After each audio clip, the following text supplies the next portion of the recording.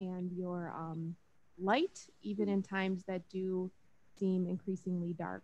We thank you for our friendships and our family and this uh, unity which we strive for on this island. Um, I cannot imagine raising my children, um, living anywhere else. So this home is such a gift to me during such a hard time. Uh, we all thank you collectively for the ability to serve. We pray that you continue to give us insight as only you can to do what is wise and right. In Jesus' name, amen.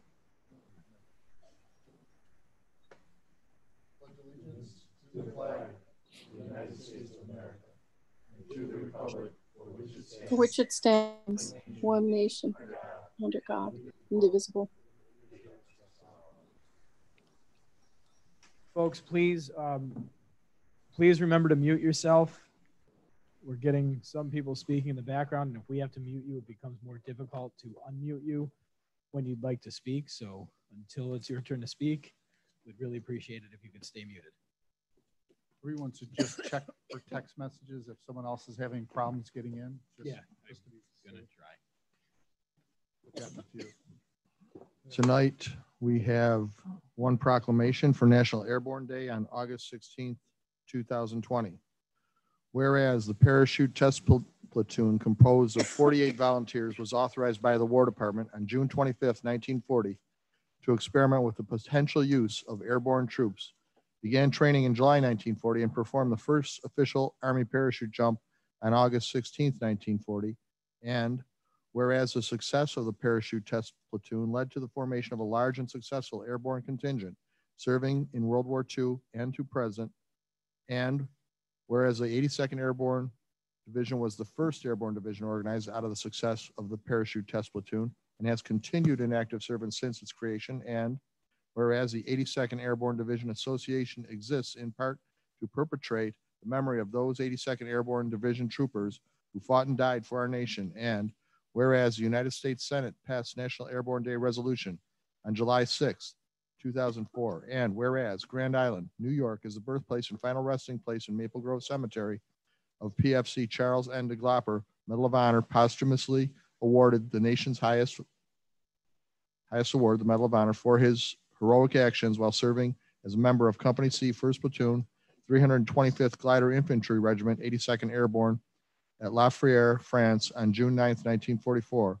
And whereas Grand Island is the birthplace and final resting place in St. Stephen Cemetery of Lieutenant Colonel Terrence K. Crowe, killed or trained airborne trooper serving with the 98th Division and killed by hostile fire while part of offensive operations in Tal Afar, Iraq on June 7, 2005. And whereas DeGlopper Park has been expanded to honor all the island's veterans, including tributes for those killed in action and will be rededicated, rededicated as DeGlopper Memorial on June 5th, 2021. Now, therefore, be it resolved that the town board of the town of Grand Island does hereby agree to proclaim August 16th, 2020, National Airborne Day in the town of Grand Island and encourage its citizens to observe, and commemorate this his- historic event. Proclaimed at town board meeting August 3rd, 2020. I have the proclamation here.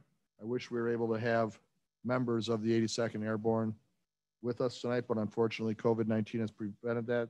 It is signed by all the town board members and the town seal is affixed, and we will give it to them at a future date. Thank you.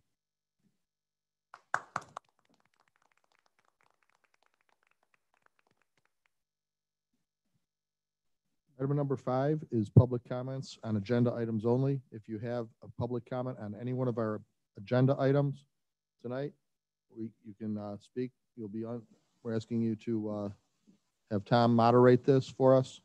And please hold your comments to three minutes or less. Thank you. Hang, before we begin, can we hang on one sec? Yeah, hang on. I'll make you co-host. I just, I just, somebody just said that they're, it's not streaming live on YouTube, so I want to make sure that that's the case. It does appear that it is. While Tom works on that, just to confirm, um, as John said, uh, we are accepting comments in the order which the request was received. As Tom has stated before, if you want to take and comment but did not RSVP to get in the queue, you can always take and uh, chat in the comment below, but please uh, be reassured that everyone will get a chance. Um, even at the end, we'll allow people to raise their hand. Cheryl Chamberlain, you'll be up first. Everyone's given three minutes. Yeah, hang on. I'm going to mute us for a second. Uh, Tom would like one minute.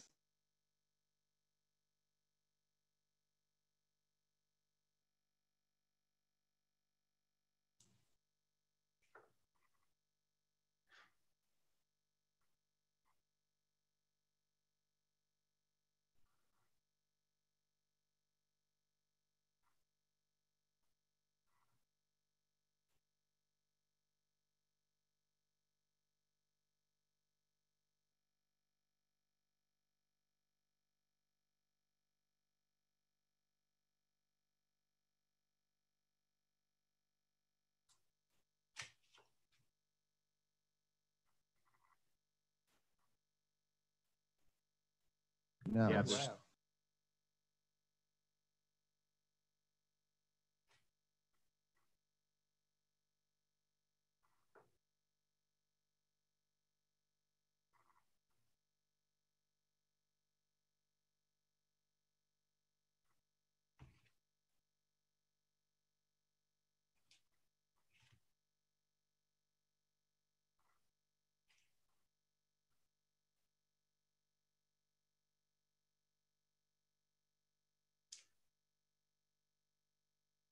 Am I supposed to begin? I can't hear anyone. No, not yet. We were muted because I was going to play. I was looking to make sure the YouTube was working and I didn't want it to play back to all of you. So give me one Okay. second. We just have to resolve an issue with the other stream and then There's 16 people watching the other now. Yeah, it's just a, a double ending of stream. Tom definitely knows how to do it, so we'll be set in a second.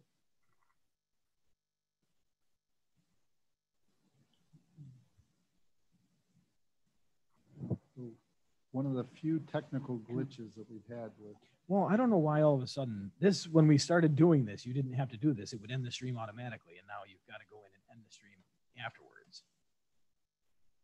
Okay. So that stream is gone. Well, it's ended. Thankfully, we have a very patient, kind Okay. group waiting oh, here to comment. Thank you all for that. I think we're good now. Cheryl, I think we're set. Okay. Um, hello. I hope we're all good. I know technology.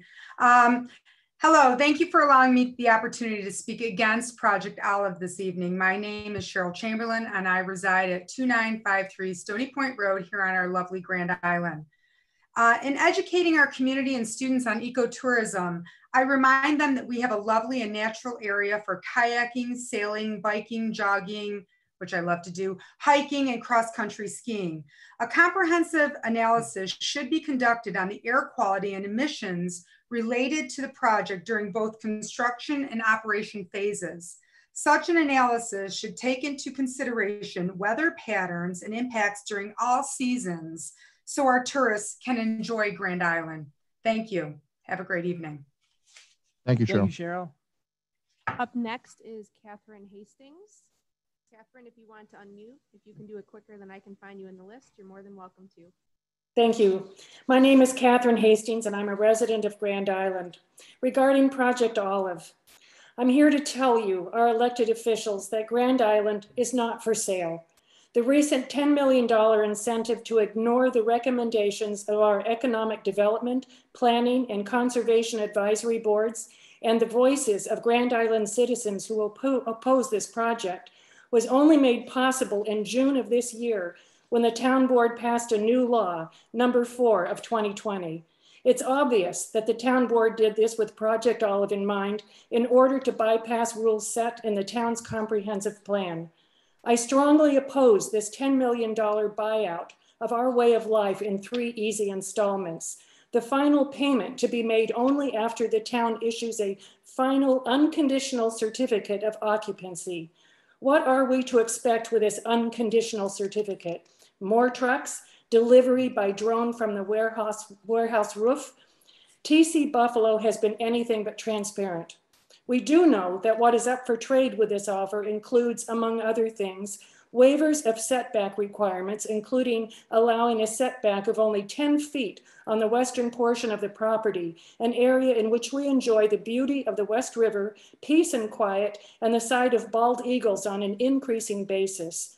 These things may mean nothing to TC Buffalo, but they do to the people who live here and to scores of people who visit Grand Island for its natural beauty. Don't ruin it. An increase in building height on top of a 15 foot rise, resulting in a structure over 100 feet high. Amazon says they'll obscure the building from view. Do you really believe that? an increase in height of lighting poles to 40 feet, spilling light along with all the noise and truck traffic into surrounding neighborhoods. Don't turn our residential island into Amazon Island. Amazon can build at Bethlehem Steel, already zoned for them. Let them do it. Finally, they recommend that part of the money be used for infrastructure improvements and part for a community center. $10 million is laughable when it comes to infrastructure alone. A community center means nothing when the community itself is destroyed. Are we to shelter there instead of enjoying the rest of our island? We would rather maintain the quality of life we have now than trade it in for the 24 7 noise, traffic, light, and air pollution this project would bring with it. Nothing is worth the sale of this island to Amazon. We also demand multiple public hearings and only after the public, including those without online access, has all information on this project. Please say no to Project Olive. Thank you, Ms. Thank you. Hastings. Uh, Kathy Rahill, you're up next. Thank you. My name is Kathy Rahill and I'm a resident of Grand Island. My statement relates to the recent incentive zoning request submitted by TC Buffalo in their sixth supplement document for Project Olive. My first comment is that I find the timing of a recent change to our zoning code to incorporate incentive zoning to be highly suspect in relation to the timing of the requested approval process for Project Olive. According to TC Buffalo's sixth supplement, quote, the town recently adopted local law number four of 2020, effective June 9th of 2020, which amended the town of Grand Island code with regard to its, its incentive zoning and PDD requirements. The supplement, the supplement goes on to say, quote, the amendments codified at Code Article 40720B and Article 407-120C, paragraph 2, require incentive zoning in exchange for any waivers in a PDD and broaden the authority of the town board to grant incentive zoning. However, conveniently left out of the sixth supplement by TC Buffalo was paragraph B of Article 40720, which specifically states, and I quote, on a case by case basis, justified by findings stating the reasons for granting incentives, the town board may, by up to 25%, increase allowable density on a lot or in a subdivision, increase height allowances, or decrease setbacks in return for on-site or off-site improvements or dedications that provide the public with greater access to the Niagara River or increase the amount of open space or parklands available for use by the community. Whether or not it was an intentional omission on the part of the developer is unknown. But I would like to remind our elected officials that the reason we have zoning codes and regulations are to prevent the exact type of pay to play scheme that is being proposed here. According to the code as written, the town board is not authorized to approve zoning variations in excess of 25% of our zoning codes and specifically limits such variations in height allowances and setbacks. Specifically, two of the requested variations are much more than the 25% as relates to maximum building height and side yard setback. Article 40720 says nothing about the authority of the town board to authorize variances associated with seconds, lighting requirements and approval for altering the course of a natural water course. I would like to remind our town officials that this is exactly why we have these regulations in place. So that even if deep pocketed organizations like mm. TC Buffalo and Amazon offer the town a hundred million dollars, we cannot be bought off to ignore our own laws and disregard the protections put in place for our community. Thank you. Well timed. Thank you much. Thank you. Up next, we have Dave Riley. Good evening. Dave, I understand you have more than one topic, so let's, if you can keep them all to three minutes each, please. Oh, yeah, I'll definitely be under three minutes for the, for, for each. Um, thank you.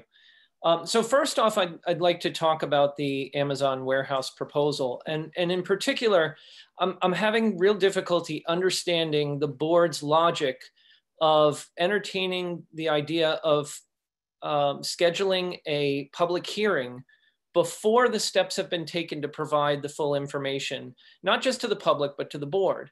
The entire concept of the SEQRA process is intended to inform not just the board, but everyone in the process, and that includes the public.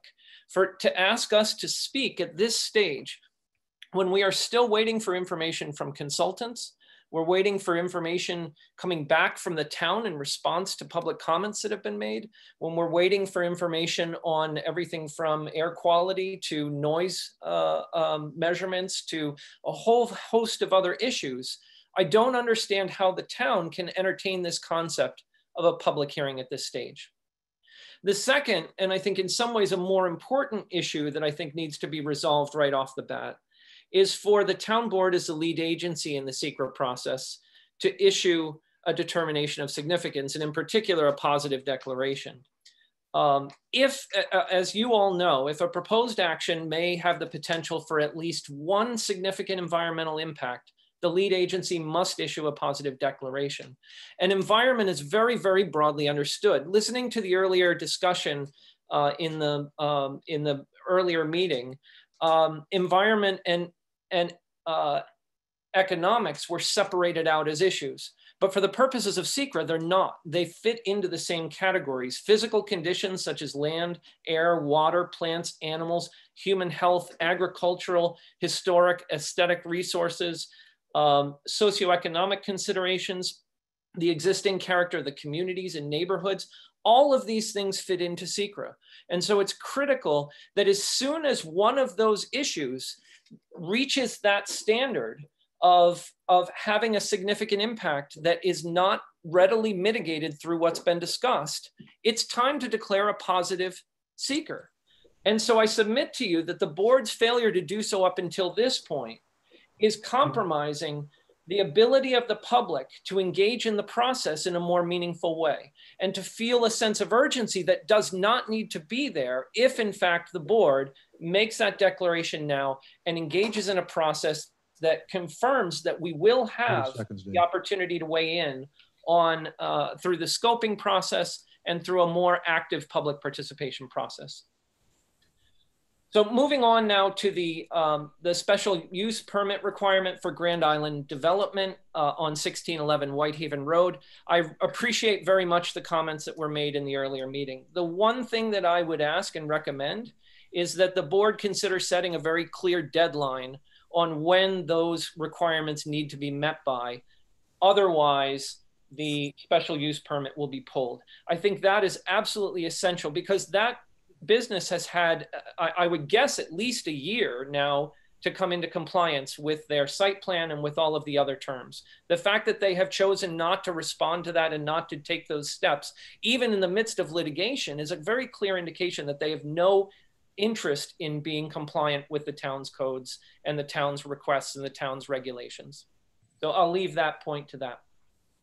Regarding the newly proposed South Point development concept plan, on July 21st, I requested in writing that the board rescind any prior approvals to the South Point developers and uh, terminate the PDD designation in order to protect the character of our island and our community. Um, to those requests, I would assert the following three additional points.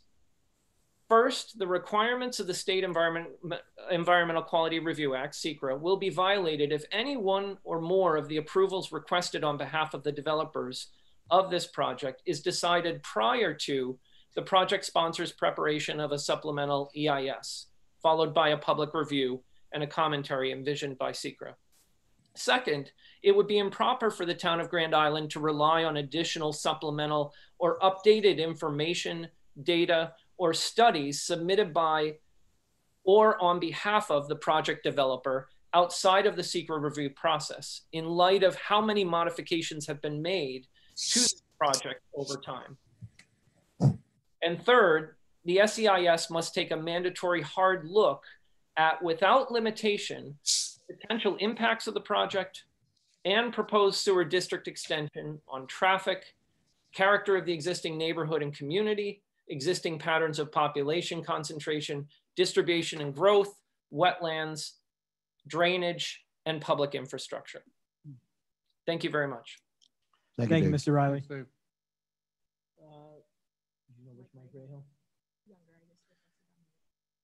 So I think that's Mike W. Rahill.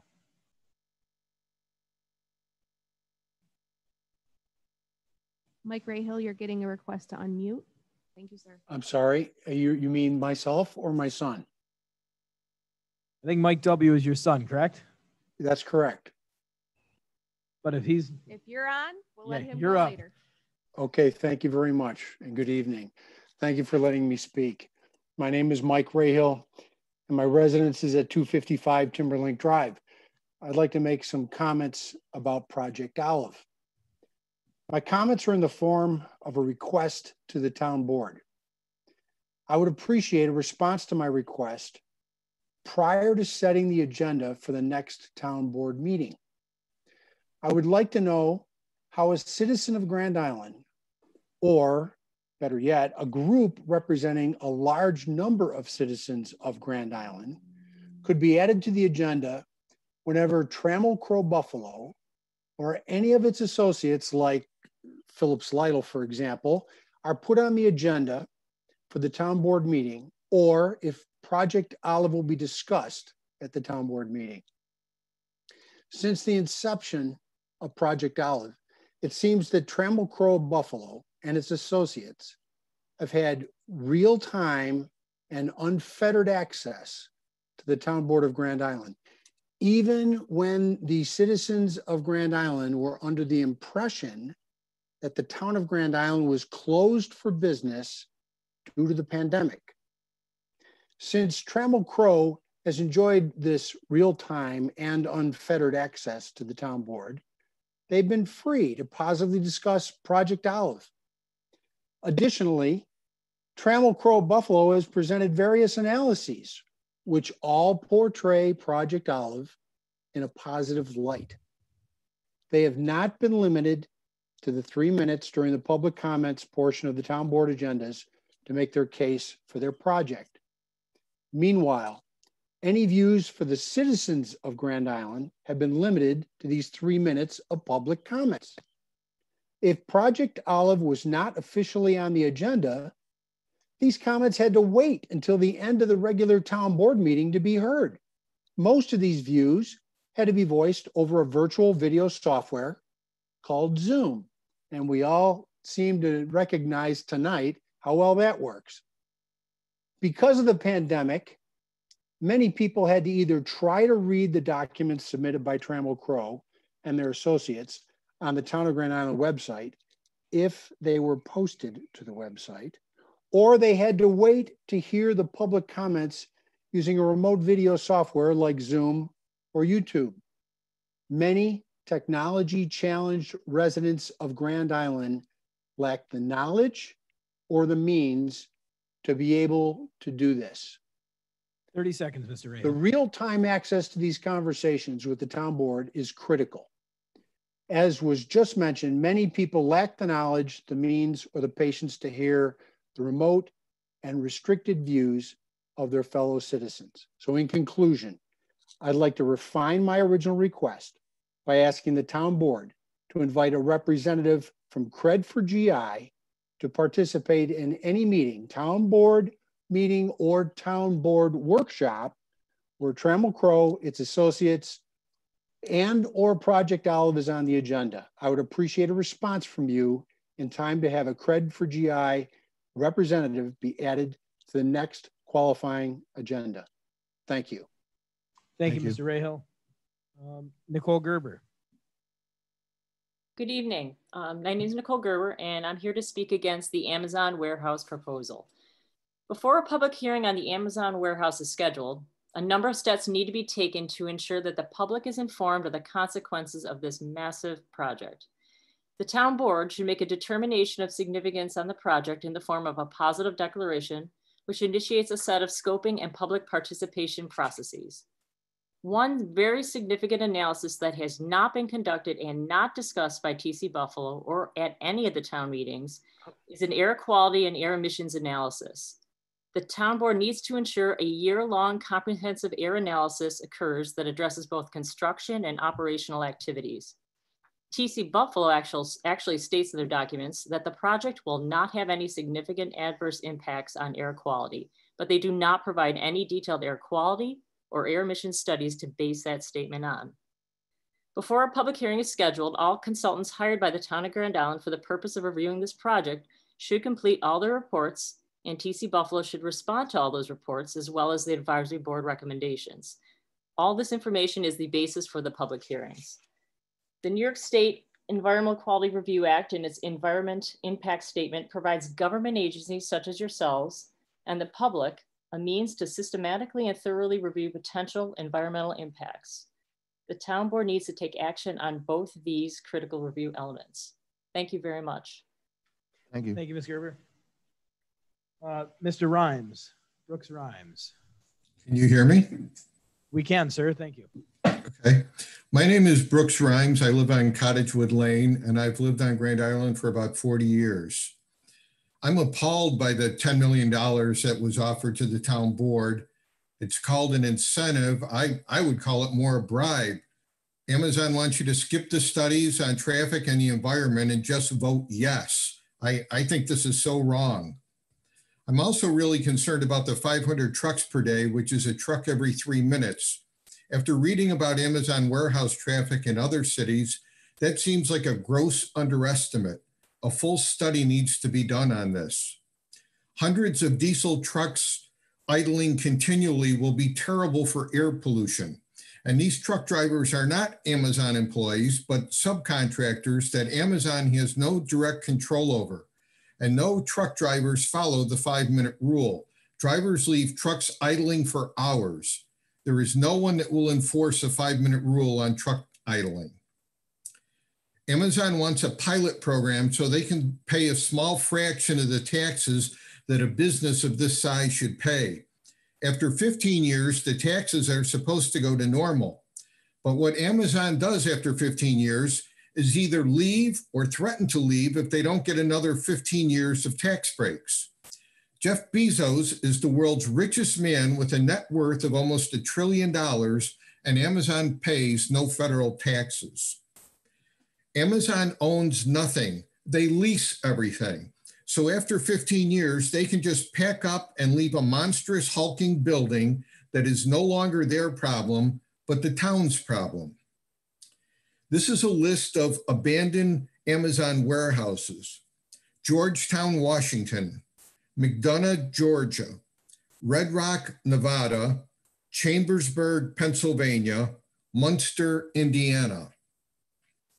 Amazon is building a warehouse of the same size in Syracuse in an industrial corridor, not in a residential area. That's where warehouses should be built that are like this size. They should be built in industrial areas, not next to people's homes. Anyone who thinks Amazon is here to help Grand Island is naive. They are here to use us and exploit us, then to leave when they're done with us. The town board 30 has seconds, a duty. Mr. Rhymes. The town board has a duty and responsibility to the residents of Long Road, West River Road, and all of us who depend on these bridges to vote no to this monstrous warehouse. Amazon is not our friend. Thank you. Thank you, Thank you, Mr. Rhymes. Maureen, Maureen Phillips, are you there? Yes, I'm here. Thank you. My name is Maureen Phillips. I'm a West River homeowner. Uh, And I'm also co-founder of the Coalition for Responsible Economic Development for Grand Island, along with my fellow veteran Kathy Rahill. Uh, We are here to talk about Project Olive because we want to uh, share as much information as we possibly can with the town council, uh, knowing that the thousands of pages submitted by TC Buffalo are not even searchable. So what we have done is taken uh, responsibility a section uh, at a time uh, on our uh, group of supporters, which is about 1,300 or uh, about 10% of your registered voters on Grand Island, and we've accomplished that in only about a month. So the more information we get out there, the more petition signers we get because it's uh, patently obvious that this is going to be damaging to the town. So I'm, I wanted to address the fact that executive, uh, county executive Poloncarz threw this into your laps last week after we had shown up in force um, and basically says, say, says to you that if you do not approve this, then it's your fault that Western New York didn't get these jobs. So let's leave aside the fact that the warehouse is already designed to be robot roboticized in about 15 years anyway. Let's not talk about the jobs. Let's talk about the company. Do we really want that business as our business neighbor? I don't think so. Amazon has a record of crushing small businesses. And if you want to learn about that, you only need to look at last week's testimony by Jeff Be Bezos before Congress under antitrust violations. The company does not deal honestly. Uh, it's predatory. It has a method for establishing itself in towns that does exactly what it's done here in our town to show up uh, on the sly, to pass papers under the door during quarantine, expecting you to process them, to keep its name out of the uh, process, as Councilman Madigan pointed out earlier. And uh, it does not deal uh, fairly and uh, honestly with the towns that it's trying to establish itself in. 30 uh, seconds, Ms. I would like to ask you, Tom and Jen, John, Pete, and Mike, I'd like to ask you to take this idea back to Poloncarz and tell him to incentivize Bethlehem Steel, which is already zoned industrial, and put it there where there are so many people who need the jobs that Amazon would offer.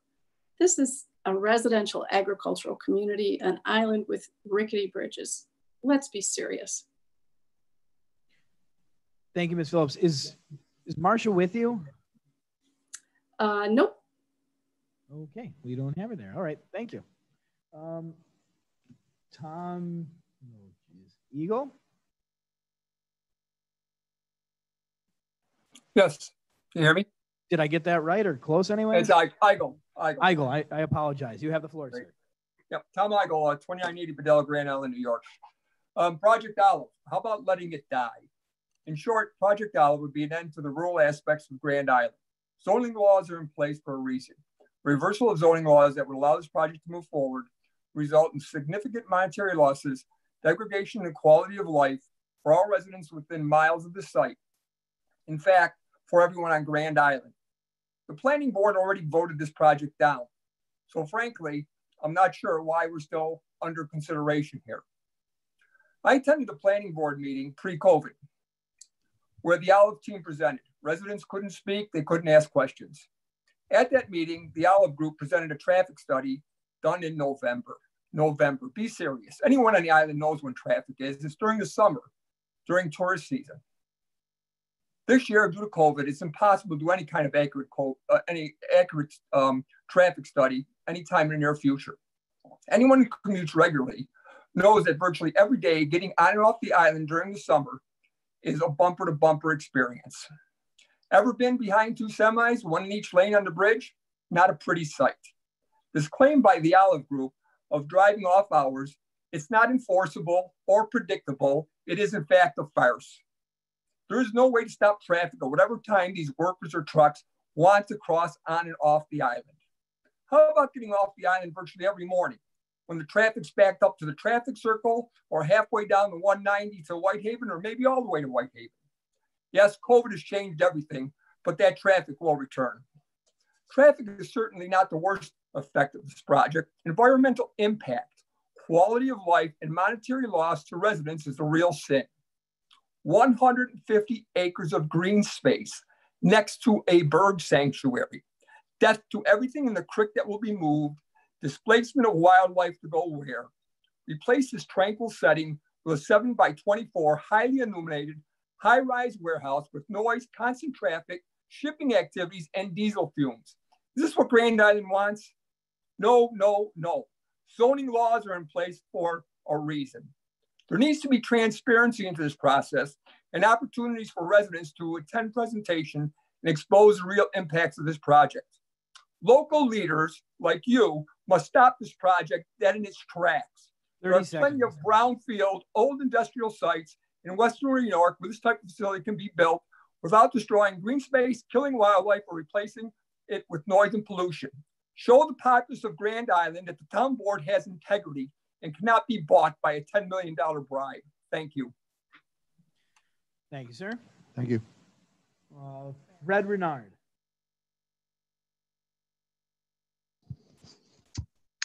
Hi, my name's Fred Renard. Um, I'm a resident of Grand Island. And I had a huge speech and everything planned out, but to be completely honest, everybody before me put it so eloquently and really put the passion in there. And I just don't understand how you guys can just sit by idly and let this all happen in front of us. They want to destroy our island. They want to destroy all the ecosystems and all the population and everything. Just like the guy before me said, with how Amazon just does a 15 year lease, they're up and out and they don't care. They just leave it like how downtown Buffalo and Grand Island look like a post apocalyptic waste town. And honestly, they should be building that there. If they want to, you know, bring the businesses to Western New York, why wouldn't you put it in all these abandoned buildings downtown in Niagara Falls or keep it in Erie County and go down to Buffalo, go in Lackawanna, do all these places that are already industrialized. And I don't understand why we're even having this conversation right now. This is absolutely insane. This is not what Grand Island's about. We're a suburb we're an agricultural community. We should be putting more of our resources into giving tax breaks and giving incentives to small business owners and farmers and keep it to ourselves and be more self-sufficient and grow all of our food and everything here. So we don't have to go out and get it from everywhere else. It's absolutely ridiculous. Like i said that we're having this conversation. Why are we putting this next to buckhorn state park? Like how is that going to affect all of those that ecosystem, all of those birds, all of the wildlife. This is absolutely insane.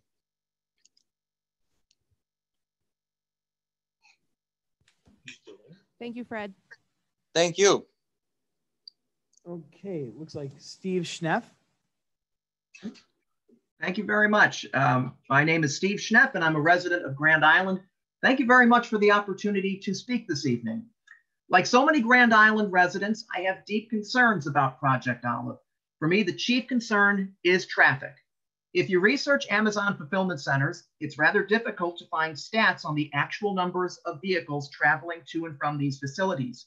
It's very easy, however, to find stories about congestion and gridlock and how the increased traffic creates nightmares for residents and commuters. Now, whatever problems are faced by other communities, I believe they'd be compounded here by our unique traffic situation with the 190 and the Grand Island bridges. TC Buffalo states there'd be about 500 trucks leaving the proposed facility every day. Frankly, I'm suspicious of that number. The warehouse plans apparently call for over 200 parking spots for tractor trailers. I find it hard to believe that a warehouse open 24 7 would send its trucks out on only two and a half runs per day. We know these facilities can send out an awful lot more than that. Our citizens group cited a recent count of trucks leaving an Amazon warehouse in Los Angeles that came out to about 1,100 trucks per hour.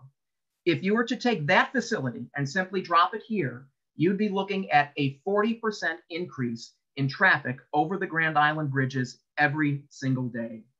Now, anyone who lives on or commutes over Grand Island knows it does not take much to cause literally miles of backups leading to the bridges.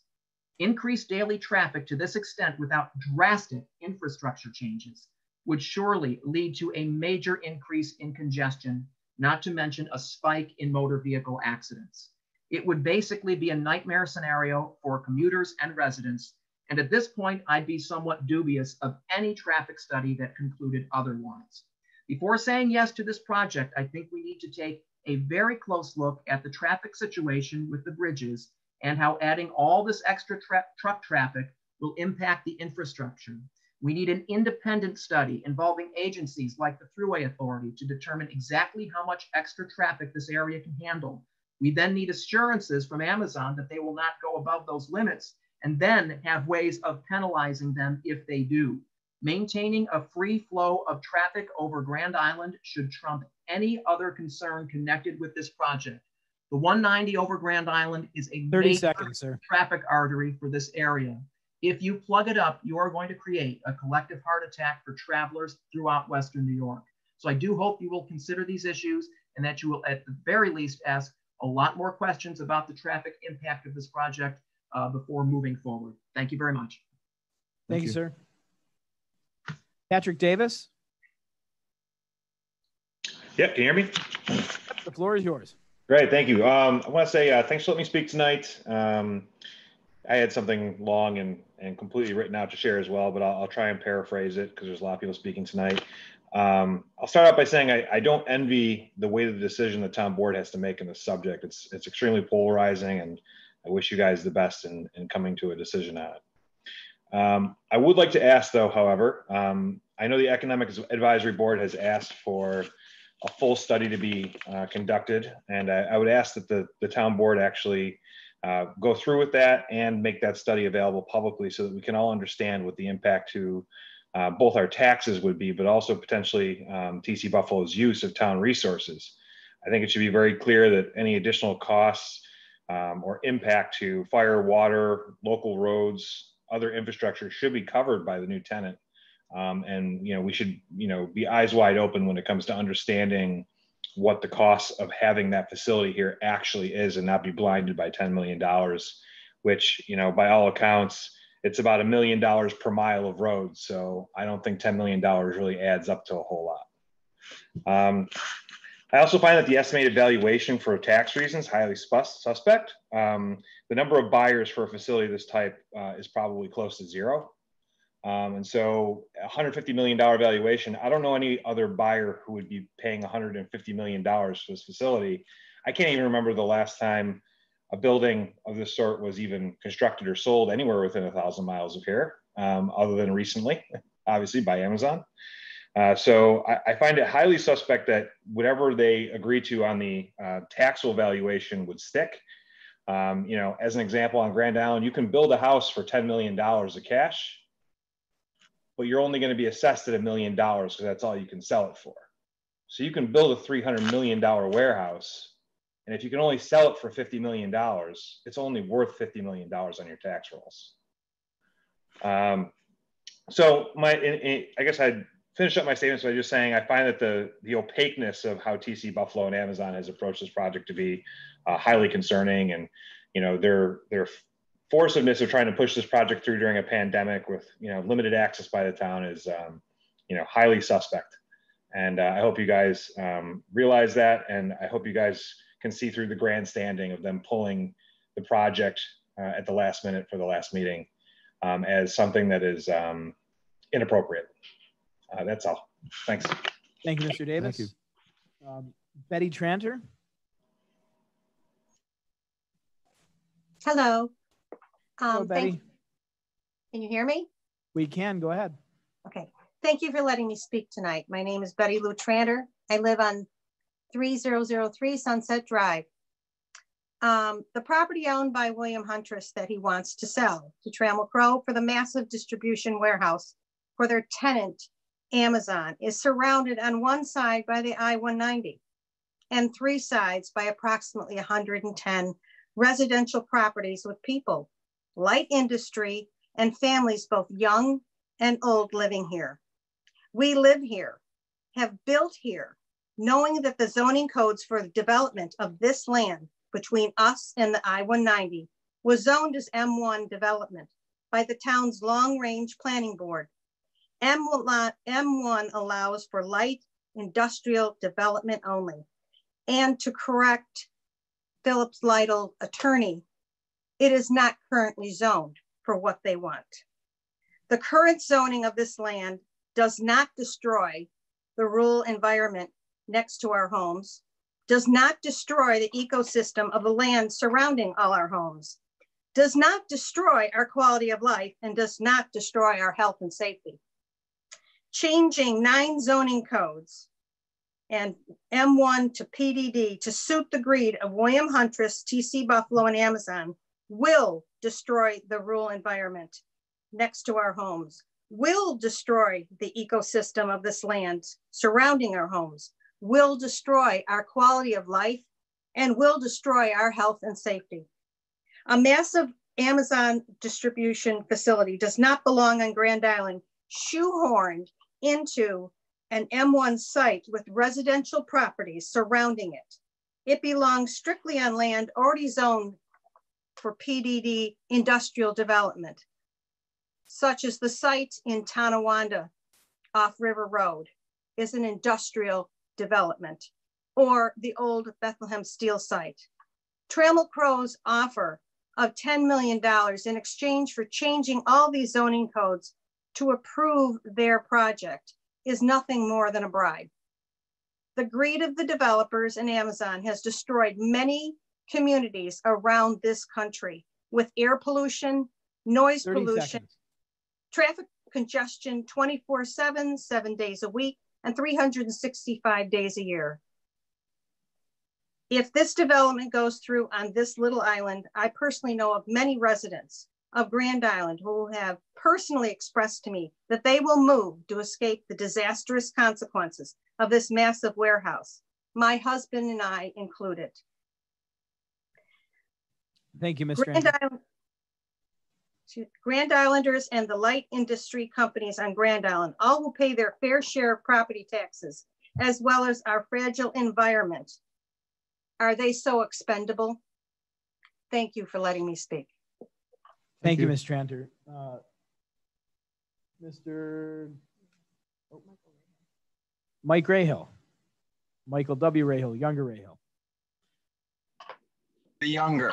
Um, thank you very much, Town Board. Uh, I appreciate you having me here tonight. My name is Michael Rahill. I live on Grand Island. I'm here to focus on the invisible infrastructure that keeps our town running, how interdependent that system is, and the inherent risks involved with the proposed addition of one of the largest warehouses in the world to that limited infrastructure.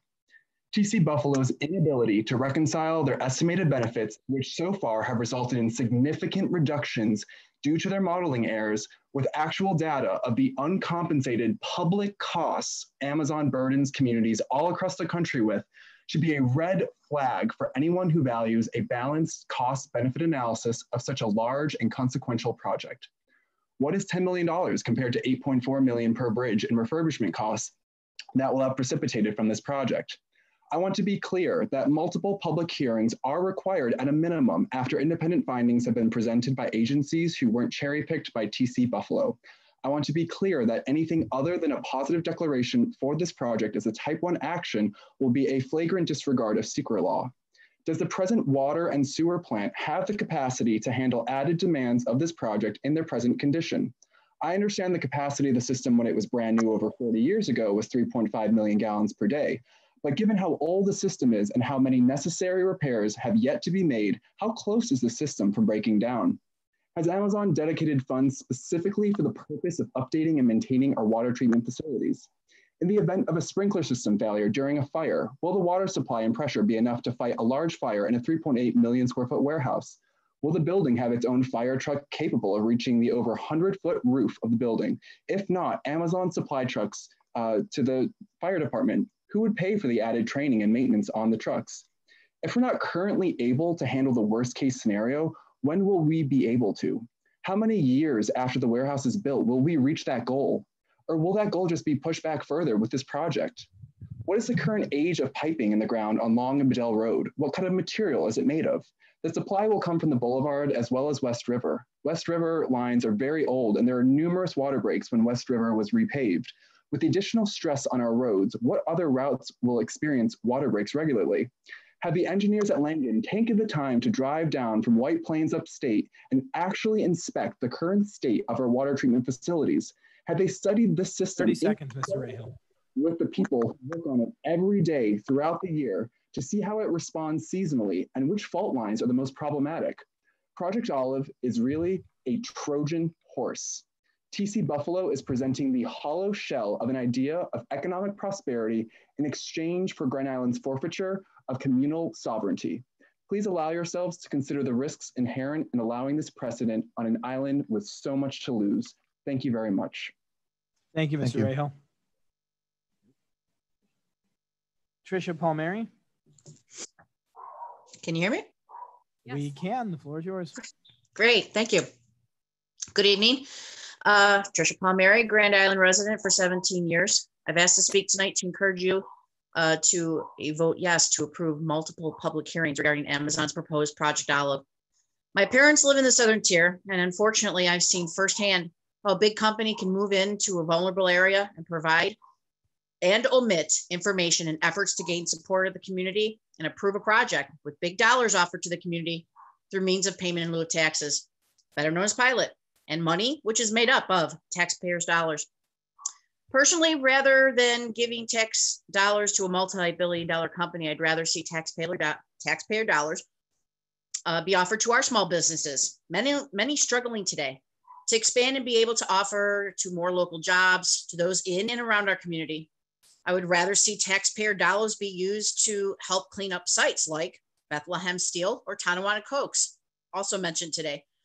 Uh, so that large scale projects like Amazon have a more suitable location. Public, public hearings get in the way with projects like these because the approval process takes longer. In February this year, by his own admission, it is the reason why our governor included in the state's budget to bypass public hearings, silencing citizens in effort to dramatically speed up the permitting and construction of renewable energy projects. Public hearings are just not about who is in support for or who is in opposition of.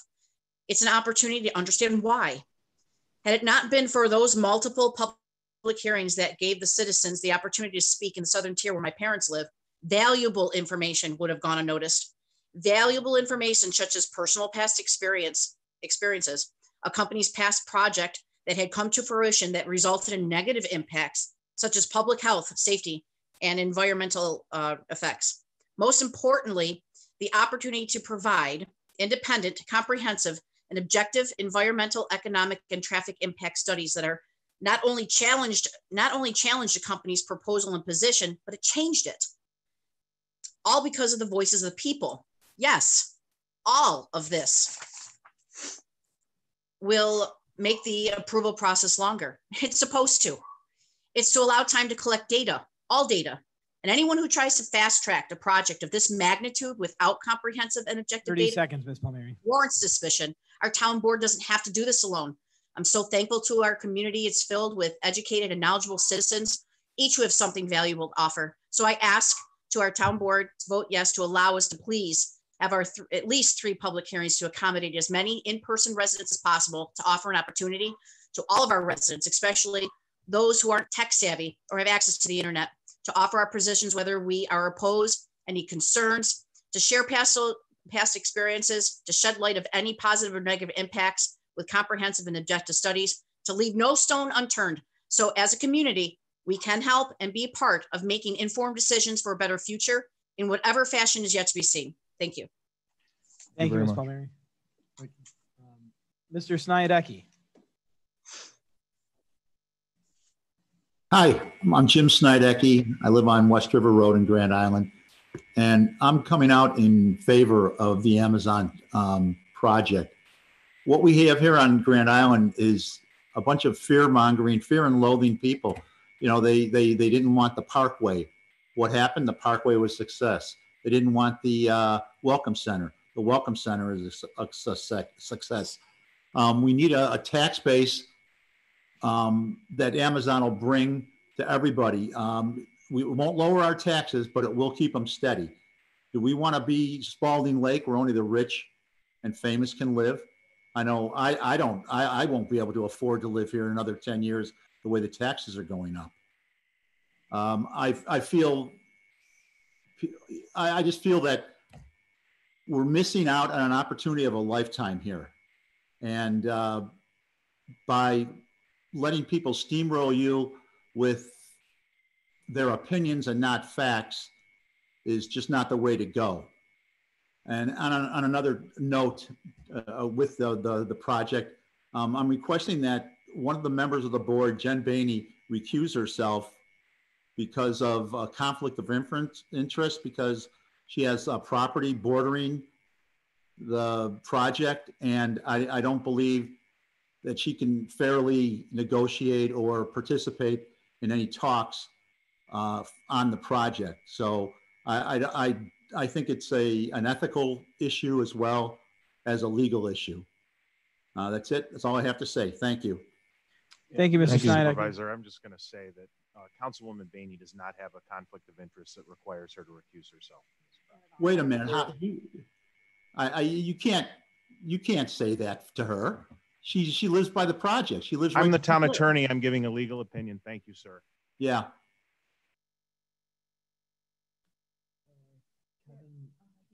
He, he, emailed- he emailed me separately. Mr. Cook, Roger Cook. Hi, I'm Roger Cook. I live at 1515 West River Road, and I serve on the Economic Development Advisory Board.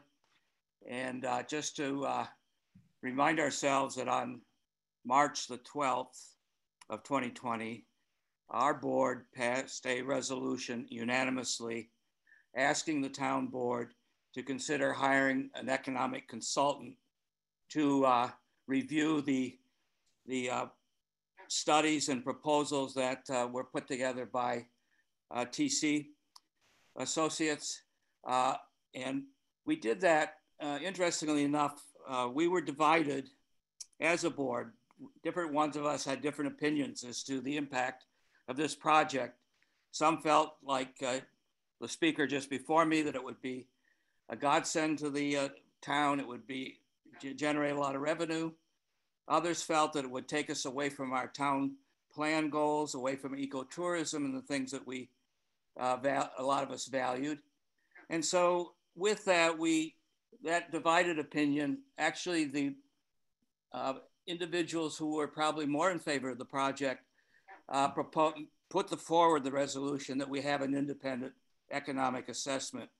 And I think we see just in the area of public health around COVID, uh, uh, how important it is to have good, informed professional uh, opinions weigh in on these matters. I, I don't know about the rest of you, but I don't feel at all competent to say one way or the other that this project is going to be the salvation of this island or the uh, destruction of the island uh, from an economic point of view. I have my feelings, I speculate, but I can't say for sure. I think there's all kinds of questions about really how much business is going to be generated by this facility on Grand Island. There's been a lot of claims made by the chamber that it's going to be great for our local business, but is that really true when most of those workers have about a half an hour for lunch and get paid pretty close to a minimum wage?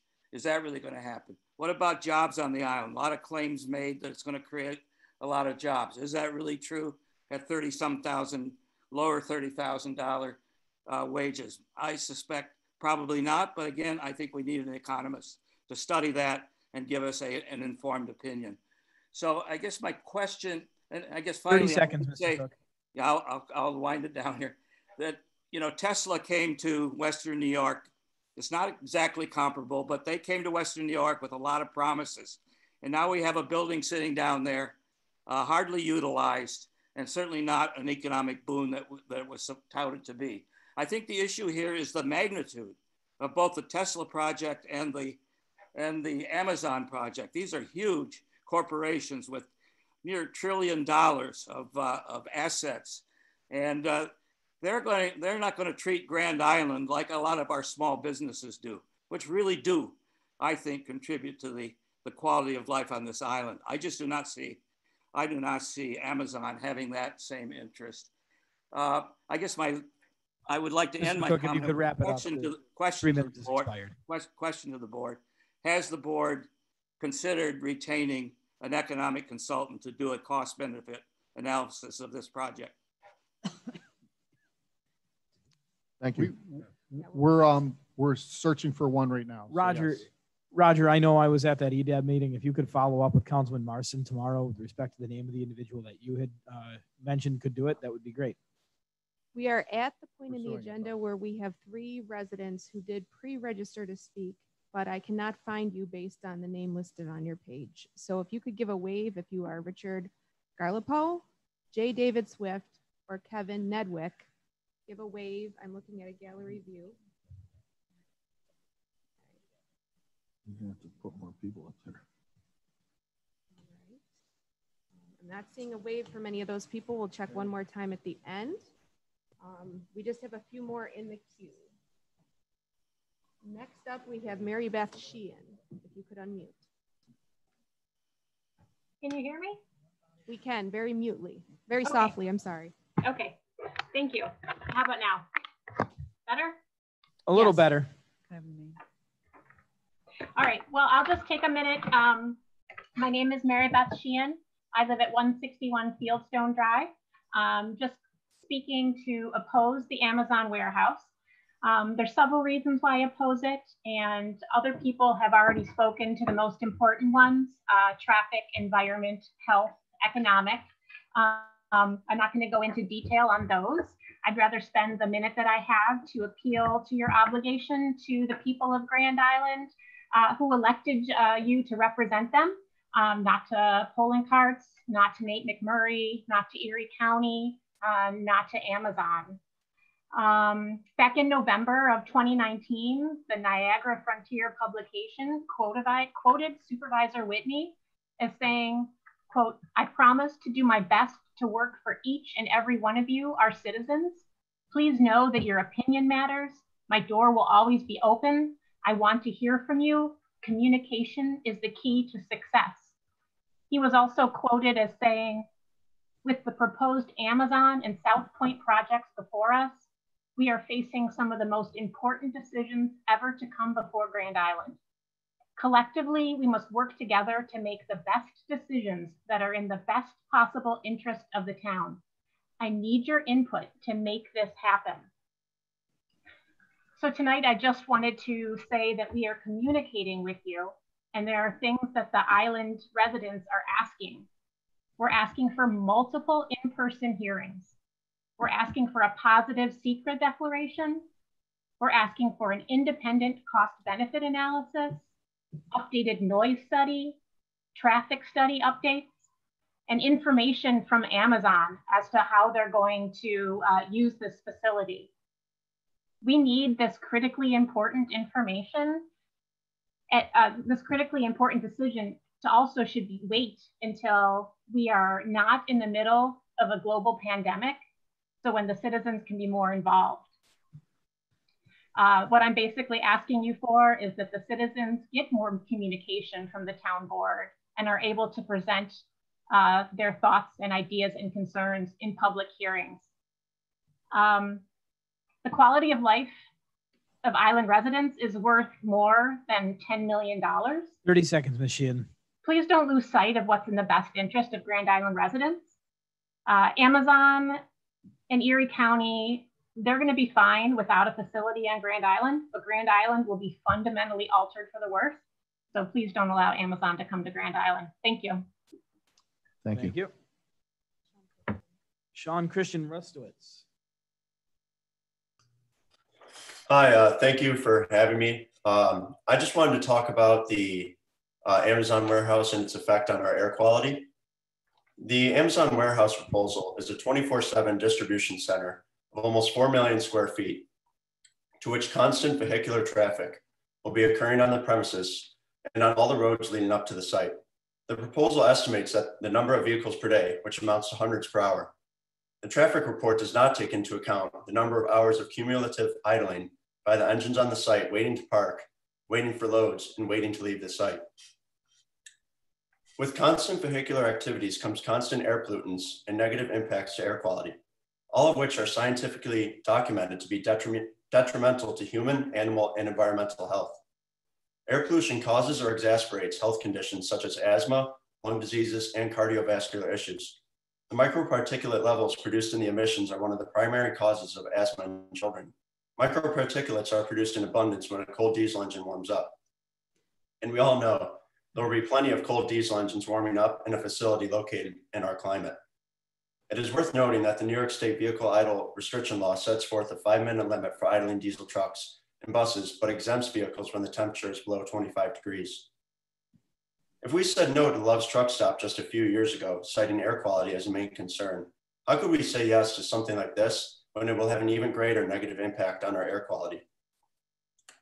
Negative impact on air quality needs to be carefully, carefully evaluated to ensure that the public health of the citizens is not compromised by the emissions from diesel powered trucks. From the documents provided on the proposal, it does not appear that Amazon or TC Buffalo has given this important air quality issue much consideration. The Amazon proposal also needs to provide plans to demonstrate how the warehouse will minimize engine idling and to ensure New York State agency regulations vehicle emissions and air quality are followed and met. Such an immense and busy facility placed near the center of the island will not only distribute air pollutants to the res adja adjacent residential neighborhoods, but the pollutants will also be carried to the eastern portions of the islands as the winds predominantly originate from the west. The Grand Island community deserves consideration for the safety of our health and that of the environment. A comprehensive year-long air quality study is needed for this proposal. Say no to Amazon. Thank you. Thank you. Thank you, Mr. Rustowitz. Mr. Mazza.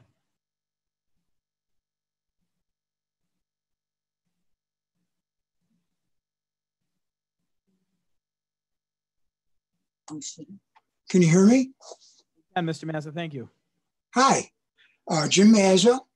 Uh, I'm a former teacher, and I want to give the board members some advice as uh, I learned in terms of my teaching.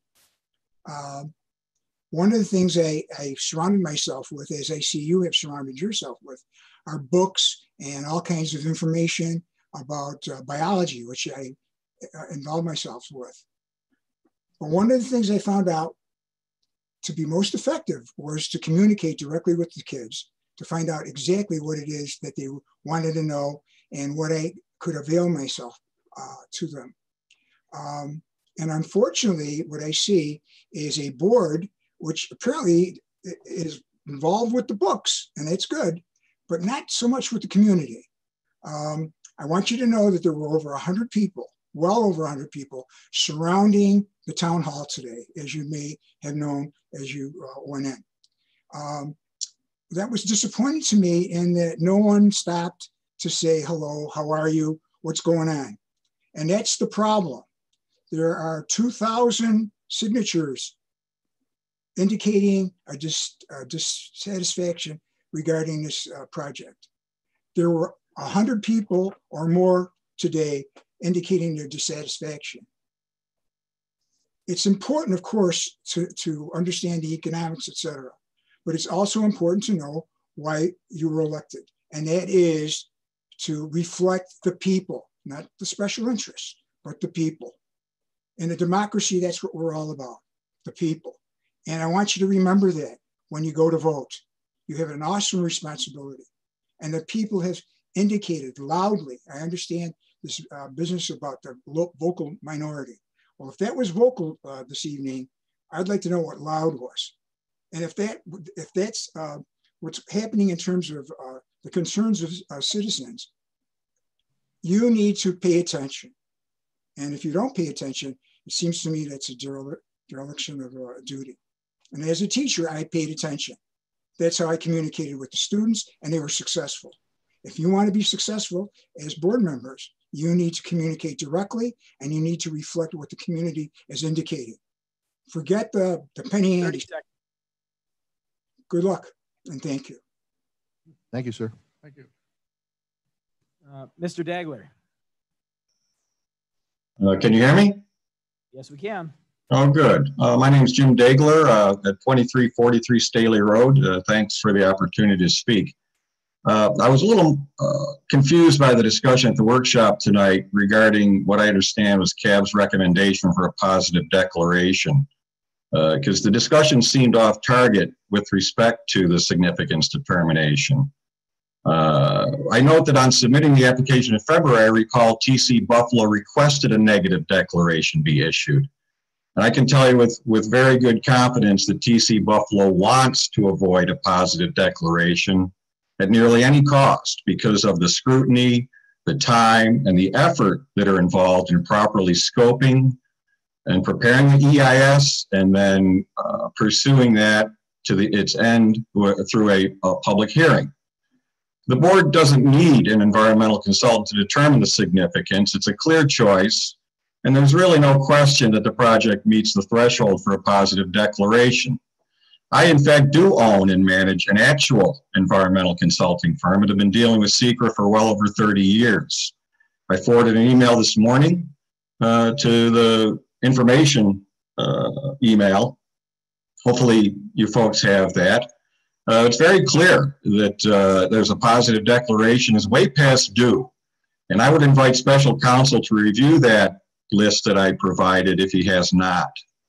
Uh, very simply, per 617A1, to require an EIS for a proposed action, the lead agency must determine that the action may include the potential for at least one significant adverse environmental impact.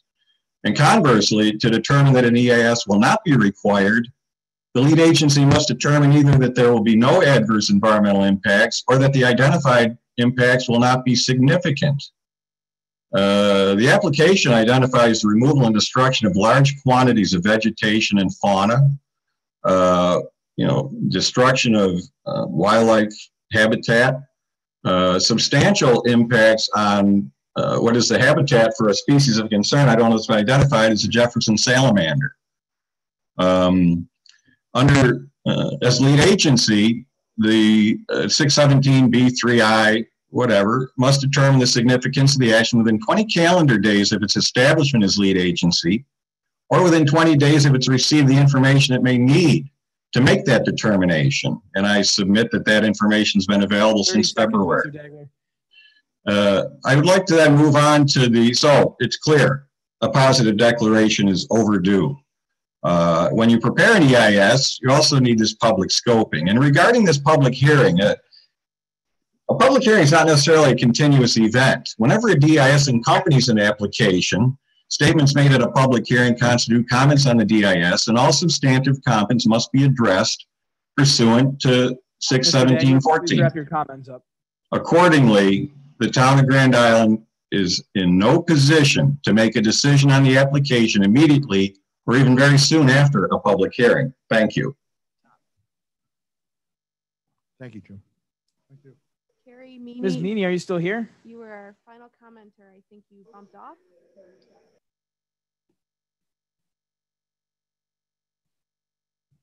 Final call for now, Carrie. Um, you can always comment at the end of the meeting as well.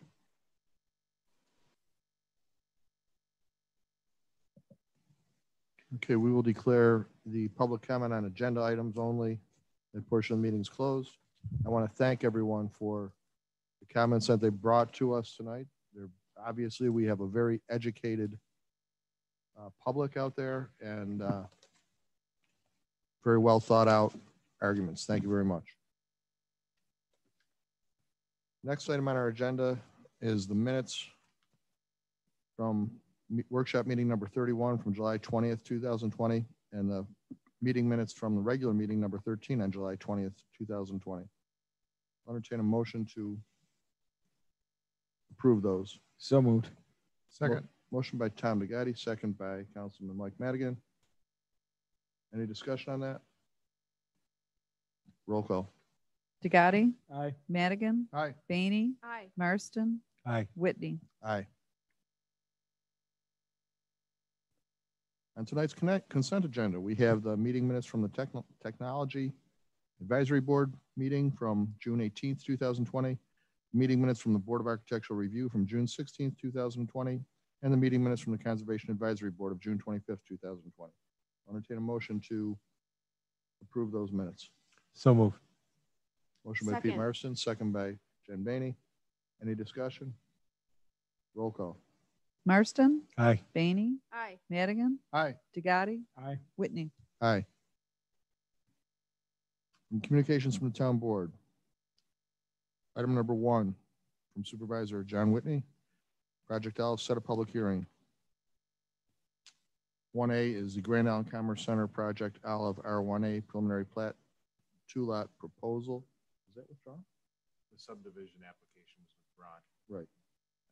Okay, so we, so we, so the, uh, the public hearing isn't going to address that. So A is not necessary. So we Okay, A, A will not be necessary due to TC Buffalo withdrawing their request for subdivision of the property.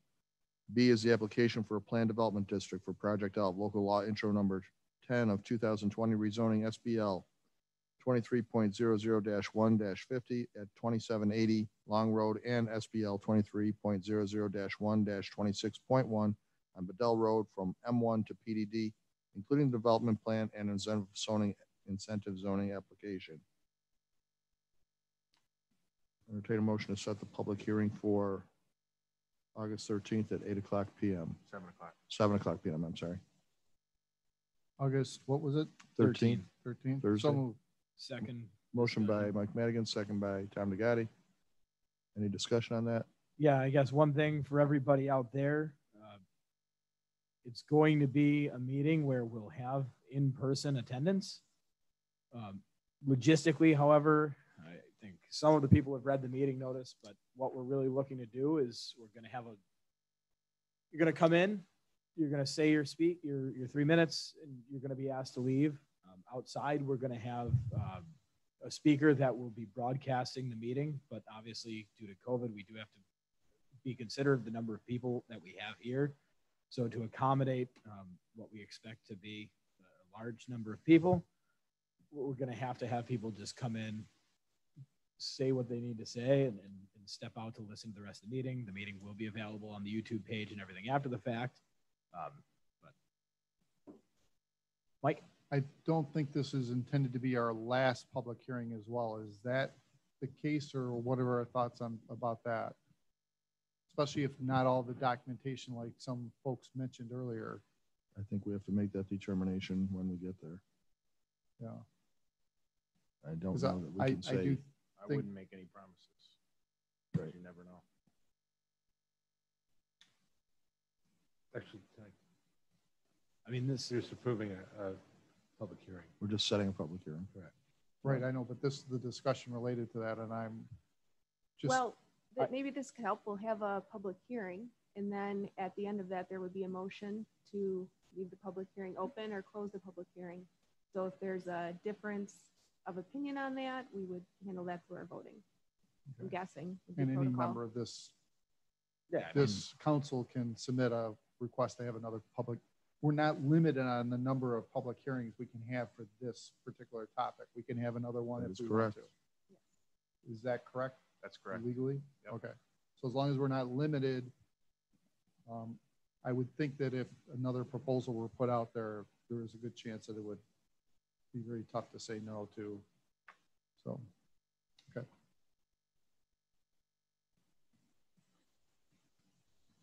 Any further discussion? Roll call. Madigan, Aye. DeGlopper, Aye. Baney, Aye. Marston, Aye. Whitney. Aye. Item number two under the supervisor's agenda is uh, Island Landing subdivision phase two and aff- affidavit documenting some corrections. In your packet, you will find an aff- my affidavit by me. I'm asking uh, authorization for the supervisor to sign said affidavit. It's uh, making some corrections to a map cover that was filed uh, back in 2019. It's just basically Scrivener's errors, so. So moved. Second. Motion by Pete Marston, second by Tom DeGlopper. Any discussion on that? Roll call. Marston, Aye. DeGlopper, Aye. Madigan, Aye. Baney, Aye. Whitney. Aye.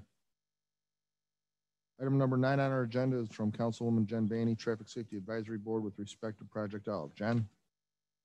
Yep. First item comes directly from the Traffic Safety Advisory Board as an official communication to you. Both items that we will review tonight were, um, I believe, uh, at the request for feedback from TSAB in their review of the most current plans. As you'll see, number one is Project Olive. I'll summarize very quickly, but I'll ask you to additionally um, follow up with me for clarification or concerns, or even better, follow up with a member of traffic safety as they best represent themselves in this. Um, in the first substantial paragraph there, they are addressing um, their concerns with vehicular traffic on Bedell Road. They note an increase of 169%. They're concerned with the, the existing pavement of Bedell Road and recommending that the town board meet with the town engineer and town superintendent of highways to see if there can be a core sample that should be taken prior to any work starting on the project. Second paragraph, um, or second um, paragraph of substance talks about how uh, the response from Project Olive is that they would um, monitor the current condition of Bedell Road uh, for the, if there is a need for future improvements. Their concern in relation to that is who would fund those, as there was nothing um, fully agreed to. Third uh, has to do with the uh, letter we received from Highway Superintendent Dick Crawford. You'll see the wording there, which um, caused Dick Crawford to bring forward the request for the regional uh, transportation meeting on August 19th.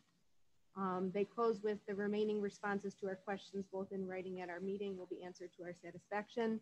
If there's anything noteworthy, um, I will also pass, well, I will of course pass along submission number seven to them, and hopefully it will assuage any other concerns they had.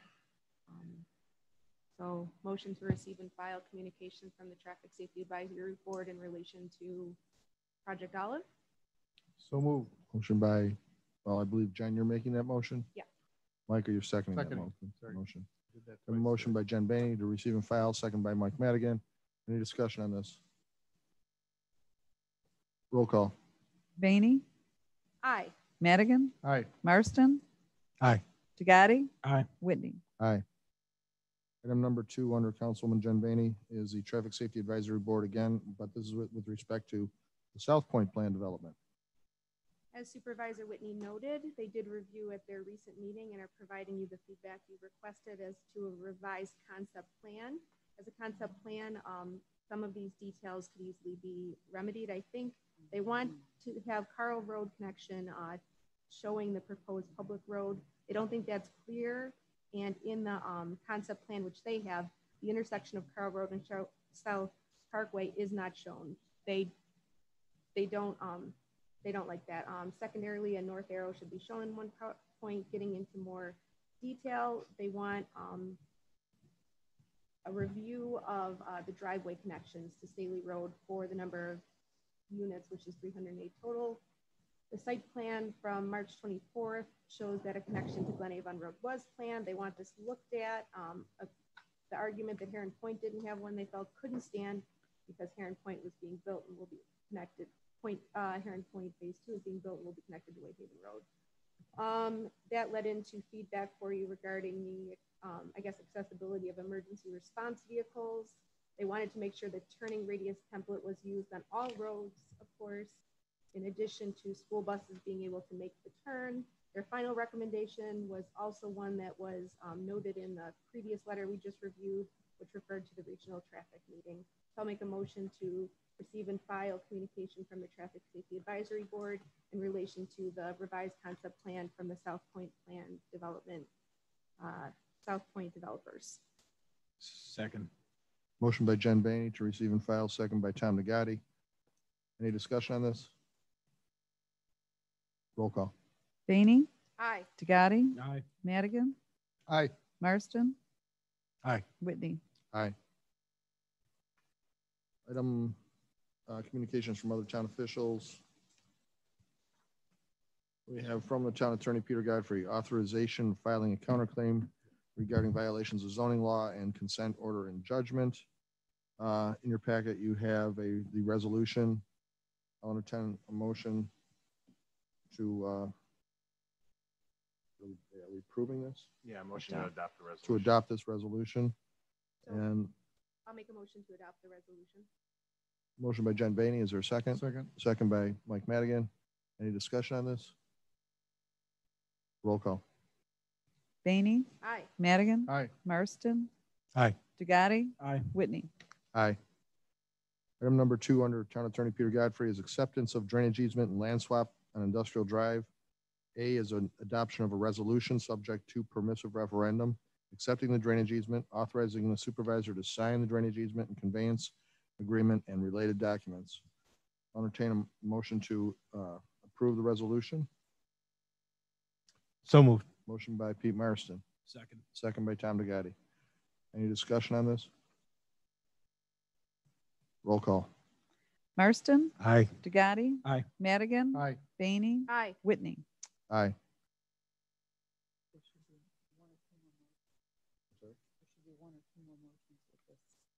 They were all, oh, I'm sorry. Yeah, I think the- No, there's, The accepting the, the, um, Could we do Drainage easement. authorization It was all in into one. it? You can do it all in oh, one. you- okay. Yeah, did it all? they're Did it all all, approved. I- I read Okay. them. Okay. Yeah. it was all big. Okay, uh, from the Department of Engineering and Water Resources, Robert H. Westfall. Item number one is a New York State DOT Grand Island Boulevard Accessibility Project, PIN number five seven six two point two seven, to authorize change order number one. Mr. Westfall has submitted a resolution or ref, a rep, referral. Please find attached change order number one. Field change number one is a ditch from station twenty-one 00 to twenty-seven 00 on the right side is required to be piped, creating across a closed drainage system instead of regrading the ditch to create positive drainage as per the plan. Drainage cannot be completed per the the plan because it was too shallow in the existing water main area. There's a shallow existing water main in this area, I'm sorry. Field change number two is to pipe the drainage ditch adjacent to 1976 Grand Island Boulevard at Station 15 plus 00 left to improve vehicular and pedestrian safety throughout the area. Removing the deep ditch will eliminate a steep drop off and need for installing a railing. The Total for change, total amount for change order number one is an increase of $66,251.25 to Novasite Company's contract and will be included in supplemental number three to the grant agreement. They're recommending approval of change order number one in the amount of sixty-six thousand, two hundred and fifty-one dollars and twenty-five cents. The Novasite Company awarded contract amount. So entertain a motion to approve that change order. Second. Who made it? Tom, motion by Tom DeGlopper, second by John Baney. Any And discussion? John, for this one, there's no other options. I mean, that's pretty pricey change. Yeah, I it is. mean, Have you looked, kind of looked at it yourself? I have not. No. I have not. That's what we have a town engineer for. So, um, just as a statement, I own the property directly adjacent to it. Therefore, I, I wish to recuse. Can I also add, isn't this the one? Pat, uh, I'm sorry? I think the state's covering eighty percent of this That reimbursement. is part of the grant, yes. So That- But But we not for shouldn't this be, change. you I know, we're mean, not trying to be that's- they're- fast and loose. They have a set amount. they're- We do have, uh, they're, they're paying into the change too, because this is, I sent some emails about this a The while. change order has also been reviewed by the consultant who's, who's doing the construction administration work on the project, C&S companies. Yeah, but. So, and recommended. Highway Just to saying be- yes. Well, no, Lynn- just to be clear, um, for the payment, I think it's a set amount. It's not going to change based on a change order from the state, right? Yes, it is. In this Lynn case, got eighty percent of, Well, okay. eighty percent of that, the one down by Pete. It, th- Right. both those modifications, I think Lynn reached out to the state who agreed, I mean, Grand Island Boulevard is theirs and they agreed to Well, cover, that I think, helps. eighty percent of the cost. So, well, Well, this is that, the, the, the sixty-six then isn't, is only, is, we'll only be sure paying twenty percent of that? right. Yes. Yeah, Okay. So. Yeah, that's not a typical change order process, so I could see why you would say. Yeah. But I think in this case, a little inquiry Yeah. by Lynn seems to have worked out well for you. Huge. It happened very quickly because it was, I was, I was at Pete's picking up a lawnmower one day and it was, the water was incredible. The neighbor came out. I inquired and I kind of left it because the answer was, well, it was gonna, that portion of it, I think, was like sixteen grand and they didn't know if it was gonna fix it. But Lynn reached out to the state and once they agreed to, to put most of the bill, it seemed like a no-brainer. Any further discussion? Roll call. DeGlopper, Aye. Baney, Aye. Madigan, Aye. Marston, Uh, recuse. Whitney. Aye. Item number 12 on our agenda is uh, Supervisor, Supervising Accountant Pam Barton, the employee vacation proposal. Pam writes, attached, you'll find the appropriate excerpts of each bargaining unit and the employee handbook not and non-union regarding vacations and sellbacks. Um, What's being proposed is that all employees be allowed to sell back up to 80 hours of vacation, provided that at least 80 hours are used. This will benefit the CSEA unit. Uh, all employees are eligible for vacation sellback when the 120 hour accrual level. This will benefit the Teamsters and the AFSCME unit. And all employees will be eligible to carry over up to 80 hours of vacation to 2021. This will benefit all employees across all units and non-union. She's making this request one-time ask due to COVID-19 crisis. Many employees worked through the pause, particularly water and sewer plant operators which by the way, I want to make special note of that our water and sewer plant operators worked tirelessly throughout this whole pandemic. Um, Remain careful in their personal lives so as to not impact other coworkers and operations critical to the town systems. That commitment to the town meant that they did not take any personal time off at all and manned the plant 24/7. They, along with other essential water, sewer, and highway and support workers, provided essential service with barely a hiccup. Additionally, now that we have returned to full force, many employees have had to cancel plans due to many travel restrictions. They have been told by their supervisors they are not allowed to leave New York State and none of it and will not be granted time off if it includes such travel. So the employees understand the necessity of this mandate, but it makes utilization of accrued vacation time even more difficult. Family weddings, births, deaths, like everyone else, employees have been affected. So it's a one-time request and uh, she's requesting that the town board approve the bulleted items as presented. And number two, the board authorizes the supervisor to sign any memorandums of understanding with the bargaining units.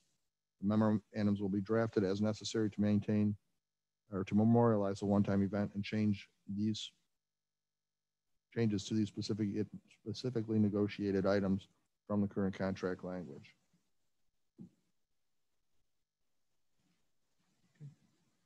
Entertain a motion to approve her request. So moved. Second. Motion by Tom Nagati, second by Mike Madigan. Discussion. And I mean, in terms of water and sewer, they had to shift their, their schedule to try and spread people out. Because one of the biggest risks is if there was a bad contamination, we would have been in very serious trouble with the water. The plant operators could not do that, though. Yeah. They had absolutely no leeway. What they did was they wiped down at the end of their shift. Uh, They met outside, they social distance, discussed what was going on with the plant for 15 minutes, and then the new operator came on and took over. And again, the same process was repeated 24/7 throughout this entire pandemic. Keeping the water and the sewer was going was a critical requirement for obvious reasons. So I mean, I think that this is a small way of saying thank you to those guys, especially with the seemingly ever growing list of states to which we can't travel.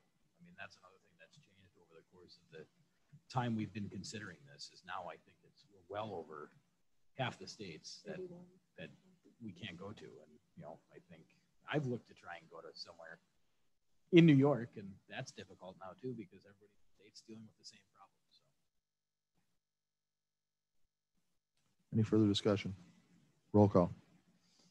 Tagati. Madigan. Aye. Baney. Aye. Marston. Aye. Whitney. Aye. Item number two from Pam Barton is a budget amendment with respect to the Golden Age Center. Has, they have seen a market increase in the Meals on Wheels program usage by its member due to COVID-19 crisis. Some members have a real need, but limited funds to pay for the interim program. The town has funds that were donated slash contributed just for situations like this. Therefore, Jen Mentor is requesting a transfer of $115 from these contributions to aid one member for the month of July. So our approval is requested for the following budget amendment slash transfer for 2020. We're going to decrease the cash in trust and agency by $115, decrease the liability from M Meals on Wheels donations, which is a- now, that's, that first one was a credit. This is a debit of 150, $15. And then increase the cash in general fund as a debit, $115 and increase liability of Meals on Wheels donation by $115. I'll entertain a motion to approve Pam's request. So moved. Second. Motion by Pete Marston, second by Mike Madigan. Any discussion on that? Roll call.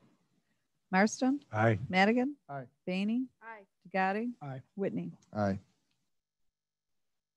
Item number 13 from the Code Enforcement Office.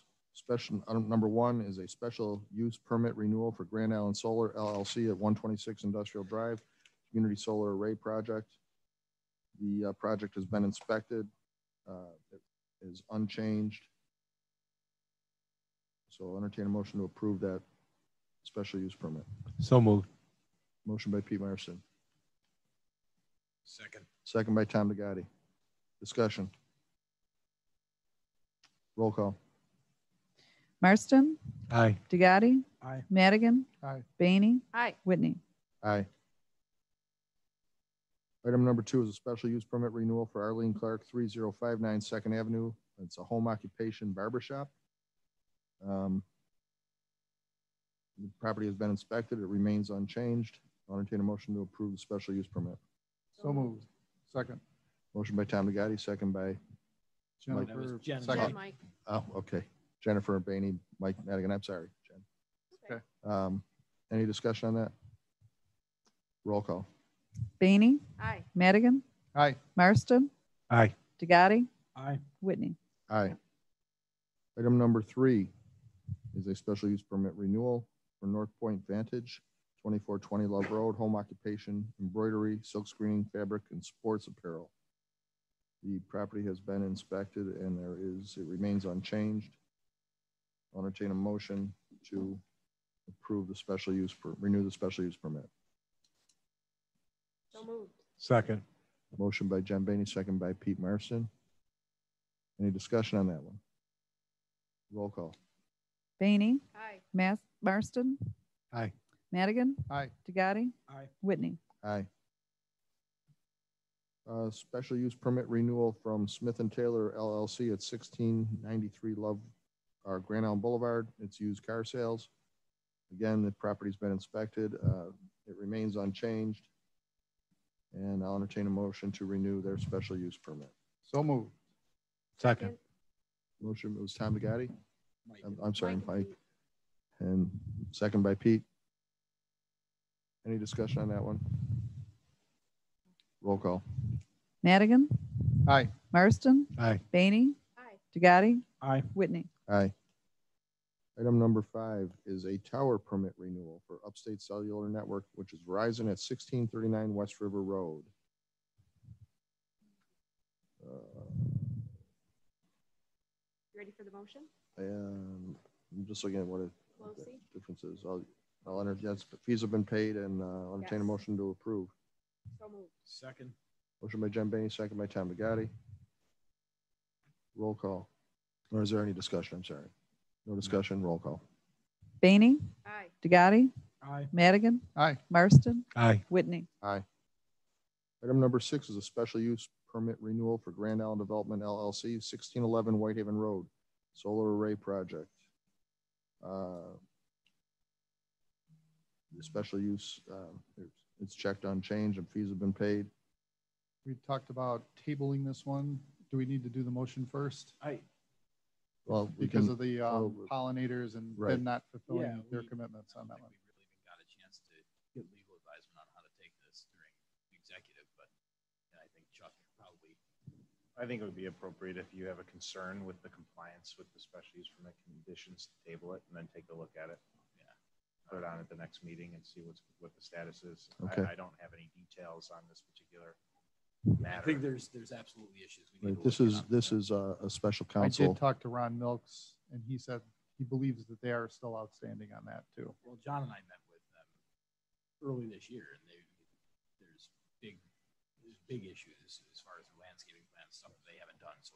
it's Oh, more than just okay. pollinators. That, So yeah, we definitely need to table this and revisit okay. what's going on, so. Yeah, So Ron- we have a Ron motion by Mike update. Madigan to table. Is there a second? Second by Tom DeGotti. Any discussion further on that? Roll call. Madigan, Aye. DeGotti, Aye. Baney, Aye. Marston, Aye. Whitney. Aye. Item number seven is a special use permit renewal for Gail Villani at five three zero two East River Road for the keeping of up to one agricultural animal. So moved. Second. Motion by Tom DeGotti, second by Jen Madigan. Baney. Madigan. Any discussion on that? Actually, the comment said there were no animals. but Right. I saw that. Yeah. Keeping the options open. This might Keeping be the options your- open, exactly. It was Madigan. Any further discussion? Roll call. Madigan, Aye. Baney, Aye. Marston, Aye. DeGotti, Aye. Whitney. Aye. Item number eight is a special use permit renewal for Grand Island Solar LLC at two four one one Dell Road Community Solar Array Project. Uh, fees have been paid, have been paid. It remains unchanged. Entertain a motion to renew the special use permit. So moved. Second. Motion by Pete Marston, second by Jen Baney. Any discussion? Roll call. Marston, Aye. Baney, Aye. Madigan, Aye. DeGotti, Aye. Whitney. Aye. Item number nine from the Code Enforcement Office is a resignation. Members of the town board, uh, William Shaw res- resignation letter. um, And this is from Ronald Milks, our Department Head and Code Enforcement Officer. I made a request of Mr. Shaw to submit a resignation letter to officially mark his last day of employment and begin his successful transition into retirement. He unfortunately has refused to submit a resignation letter, so I'm sending this letter as a demarcation point for his file. Mr. Shaw's last day of employment was July 6th, 2020. He officially began his retirement on July 7th, 2020. Please let me know if you need anything further to complete his employment history. Thank you. I'll entertain a motion to accept Mr. Shaw's, That's not Mr. Shaw's though, so what are we accepting? Mr. Shaw's resignation via the Code Enforcement Office Perhaps uh, we- we with, accept with Mr. a, Milk's explanation. with, with a certificate of appreciation to Mr. Shaw for his years of service. Very good. That I support. Thank you. Second. Motion by Pete Marston, second by Jen Baney. Roll call. Marston, Aye. Baney, Madigan, Aye. DeGatti, Aye. Whitney. Aye. From item number 14, from the assessor Judy Tefelsky, there's a request to split off a parcel of 127.5 feet by 250 feet from lot number SBL 37.03-3-37.111. The owner is requesting uh, split off a building lot that's fronting on Stony Point Road. I looked at the zoning today. It is uh, zoned R1B, which is a 120 by 250 zoning, so that has more than required frontage. It does have the required depth. And uh, entertain a motion to accept this request. So moved. Uh, second and discussion. Motion by Mike, was it? And second by Pete. Thank you. On the question? Are we creating a new building lot where we need to imply recreation fees here? It would be creating a new building lot. Okay. So you want it with recreation fees, Correct. applicable recreation fees? Correct. Okay. You okay with that. Mike? Yes. You okay with amending your motion? Yes. I'll second that. Any further discussion? Roll call. Madigan? Aye. Marston? Aye. Baney? Aye. Dugatti? Aye. Whitney? Aye. Report of the Audit Committee. Jen. Make a motion to pay the following amounts from the following accounts. General Fund, $53,532. Highway Fund, $18,121.97. Sewer Fund, twenty-one thousand, six hundred thirty-three dollars and forty-nine cents. Water Fund, four thousand, nine hundred forty-three dollars and fifty-eight cents. Trust and Agency Fund, one hundred fifty dollars and sixty-five cents. Capital Fund, one hundred and fifty-six thousand, two hundred sixty-three dollars and ninety-nine cents, for a grand total of two hundred fifty-four thousand, six hundred forty-five dollars and sixty-eight cents. Second. You get my email? Yeah. Awesome.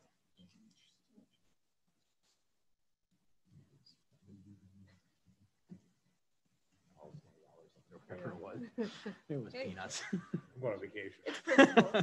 I'm sorry. Motion by Jen Baney, second by who? DeGatti. Tom DeGatti. Tom The DeGatti, other audit. um, to pay the bills.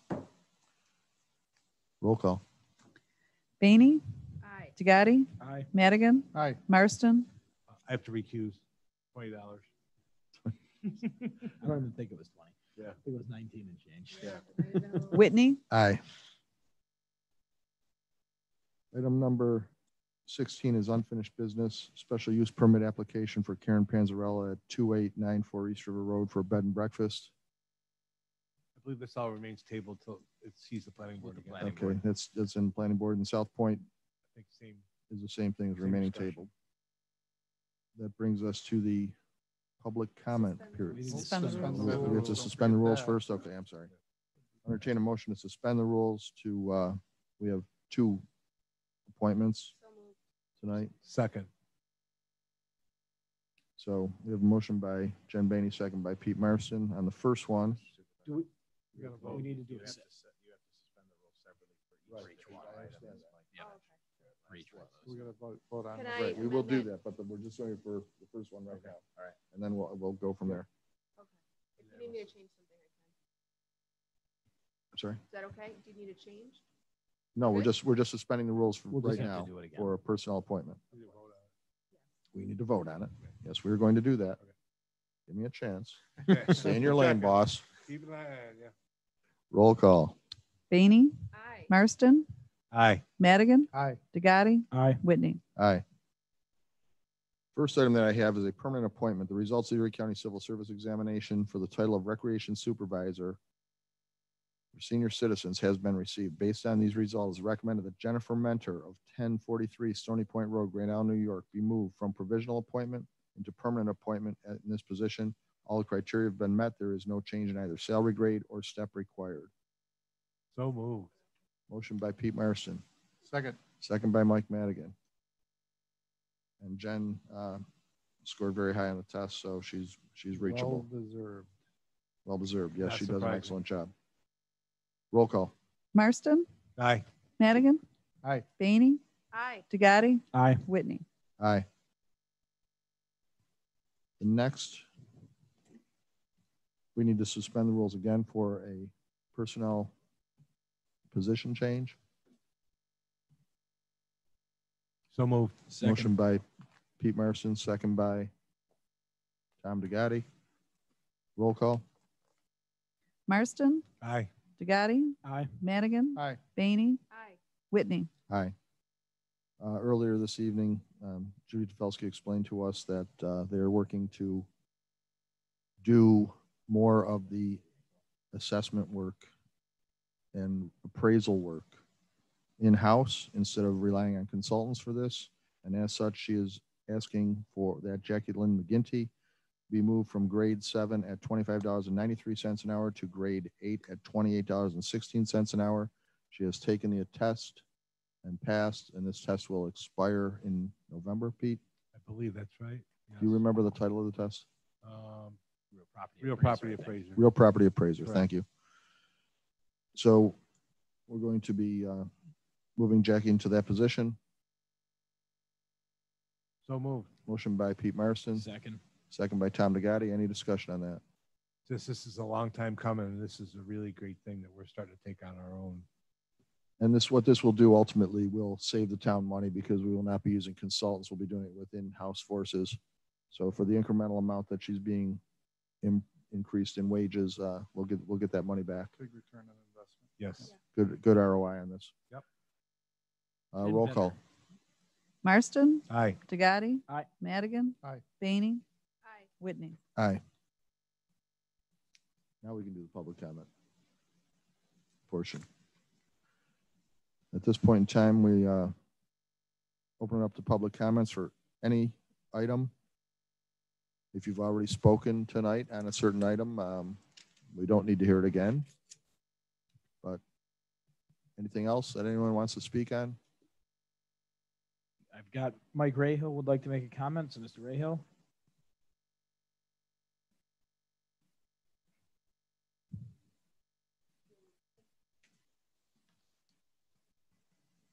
Mr. Rahill? Yes, thanks. Tom.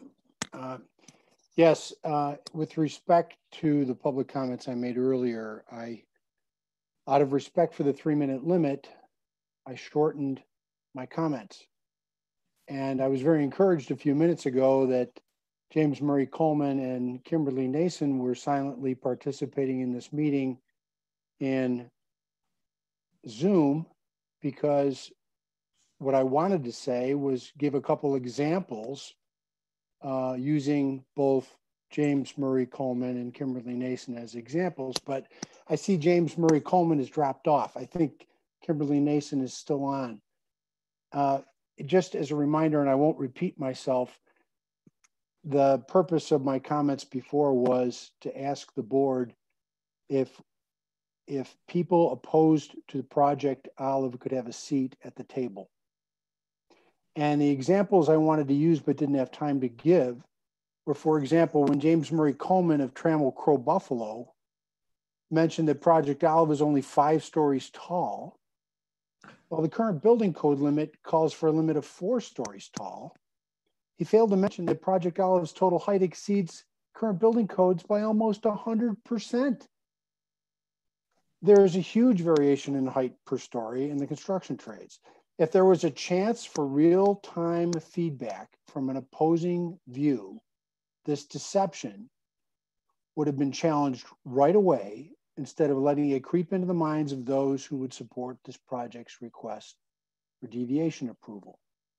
Another example would be when Philip Slidell's representative, Kimberly Nason, said that she, quote, firmly believes that this initiative will be of substantial long-term benefit to the town without compromising the vibrancy or tranquility of the Grand Island community.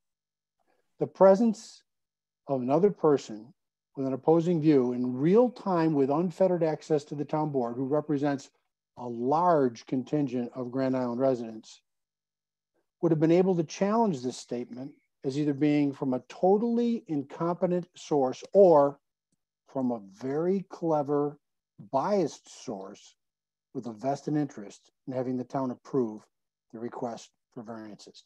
And by the way, final comment, this large group of Grand Island citizens has been characterized by those supporting Project Olive as the vocal minority. The group whom this critic is referring to is Cred for GI. It was founded on July 1st, one month ago. It has already amassed 1,800 signatures on a petition recommending the town board refuse to approve the enabling deviations for Project Olive. And Cred for GI has also received the support of hundreds of people who are not Grand Islanders, but appreciate the unique environment which exists on Grand Island. Thank you very much for the second opportunity. Thank you, Mr. Rahill. Is there anyone else that would like to make a public comment?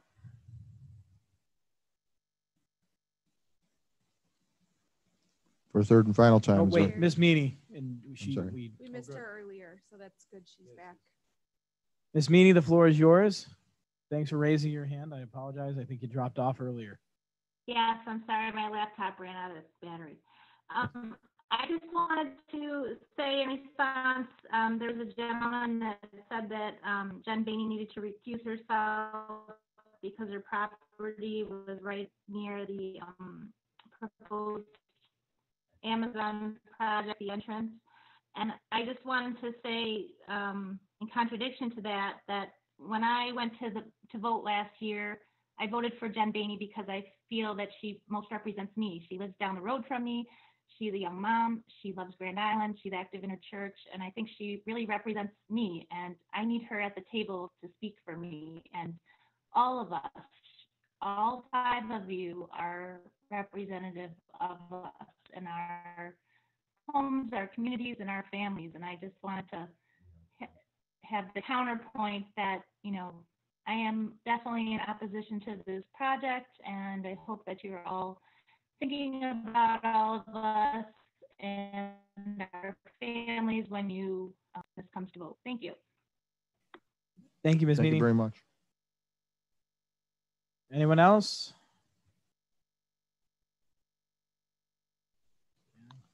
For a third and final time, is there anyone else that wishes to speak on any item to the town board? Declare that portion of the meeting closed.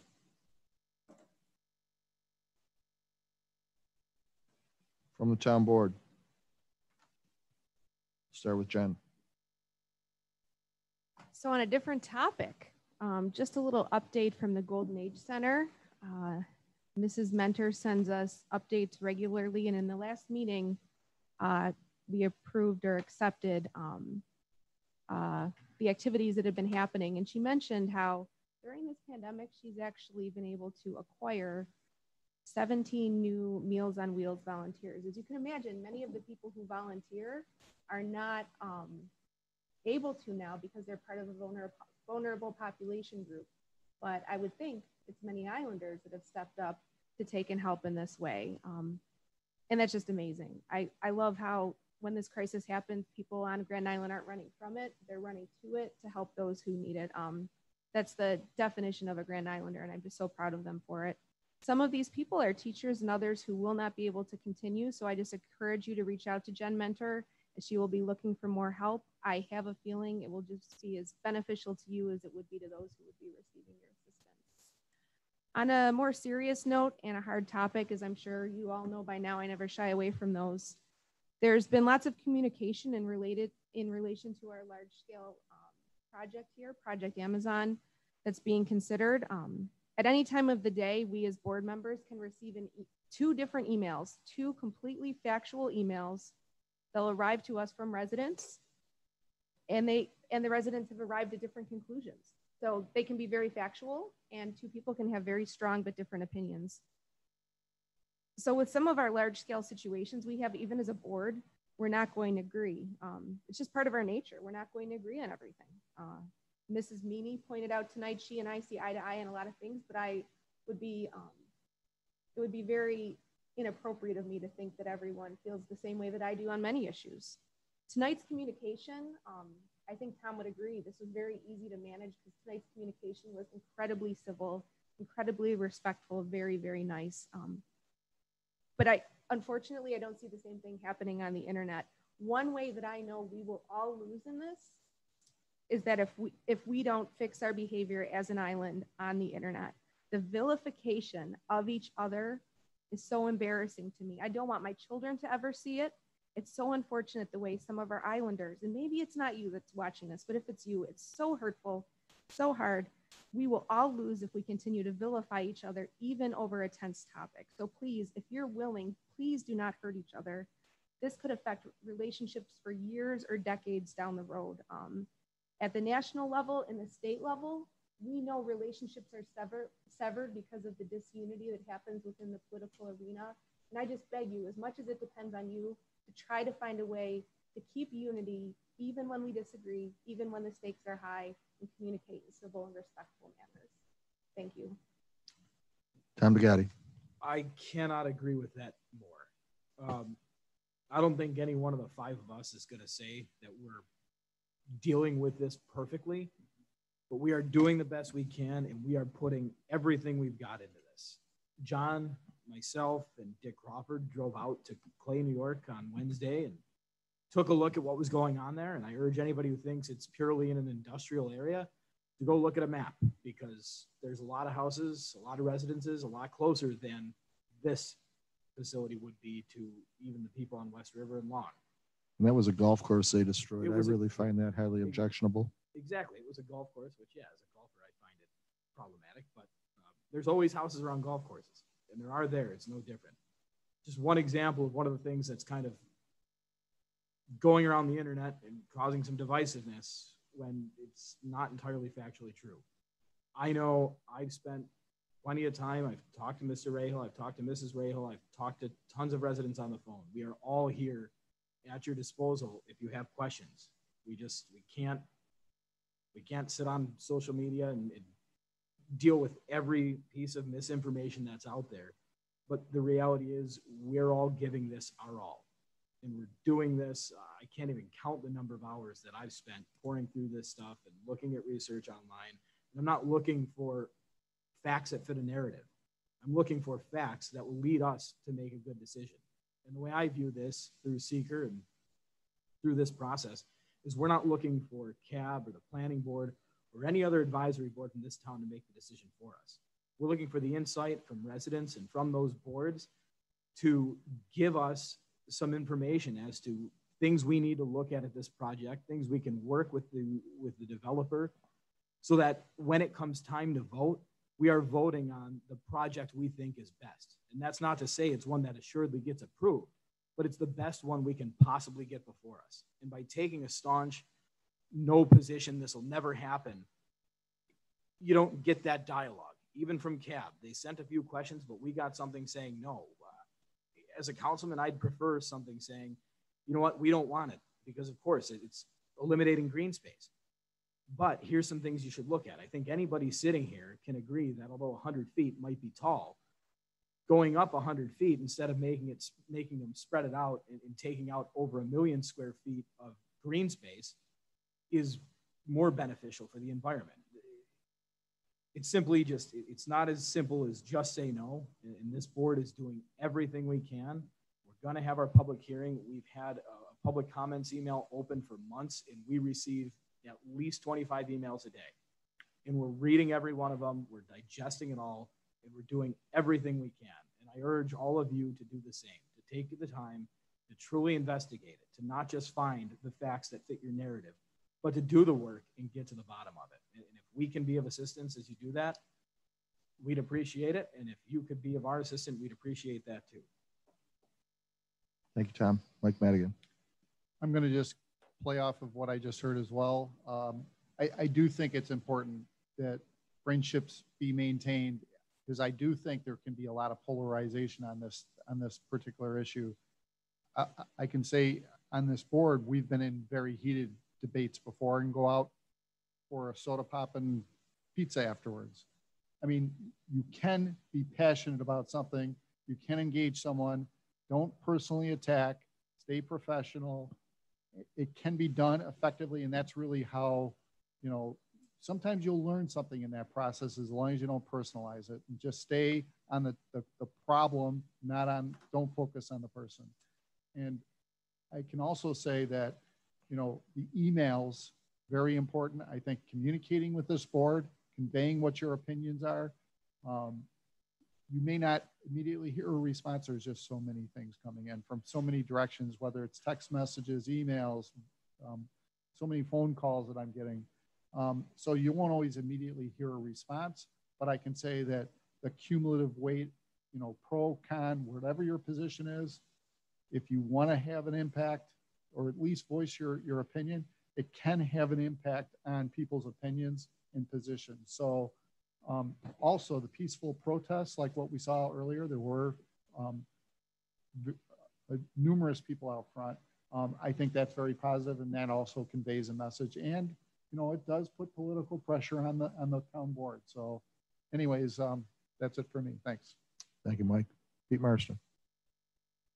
I would kind of echo some of my, my fellow board members' statements.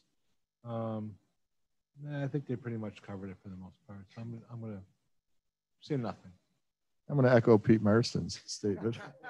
I've had enough. I guess the point is, at the end of the day, You guys, you guys have all been very eloquent tonight, and uh, thank you all for your comments.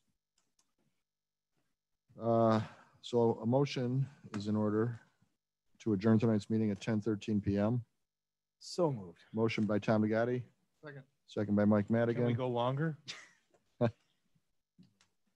All those in favor signify by saying aye. Any opposed? That's carried. Please rise. Tonight, we will observe a moment of silence in memory of Gertrude Trudy Walbert, William T. Bill McKibben, and Bryce David Shipman.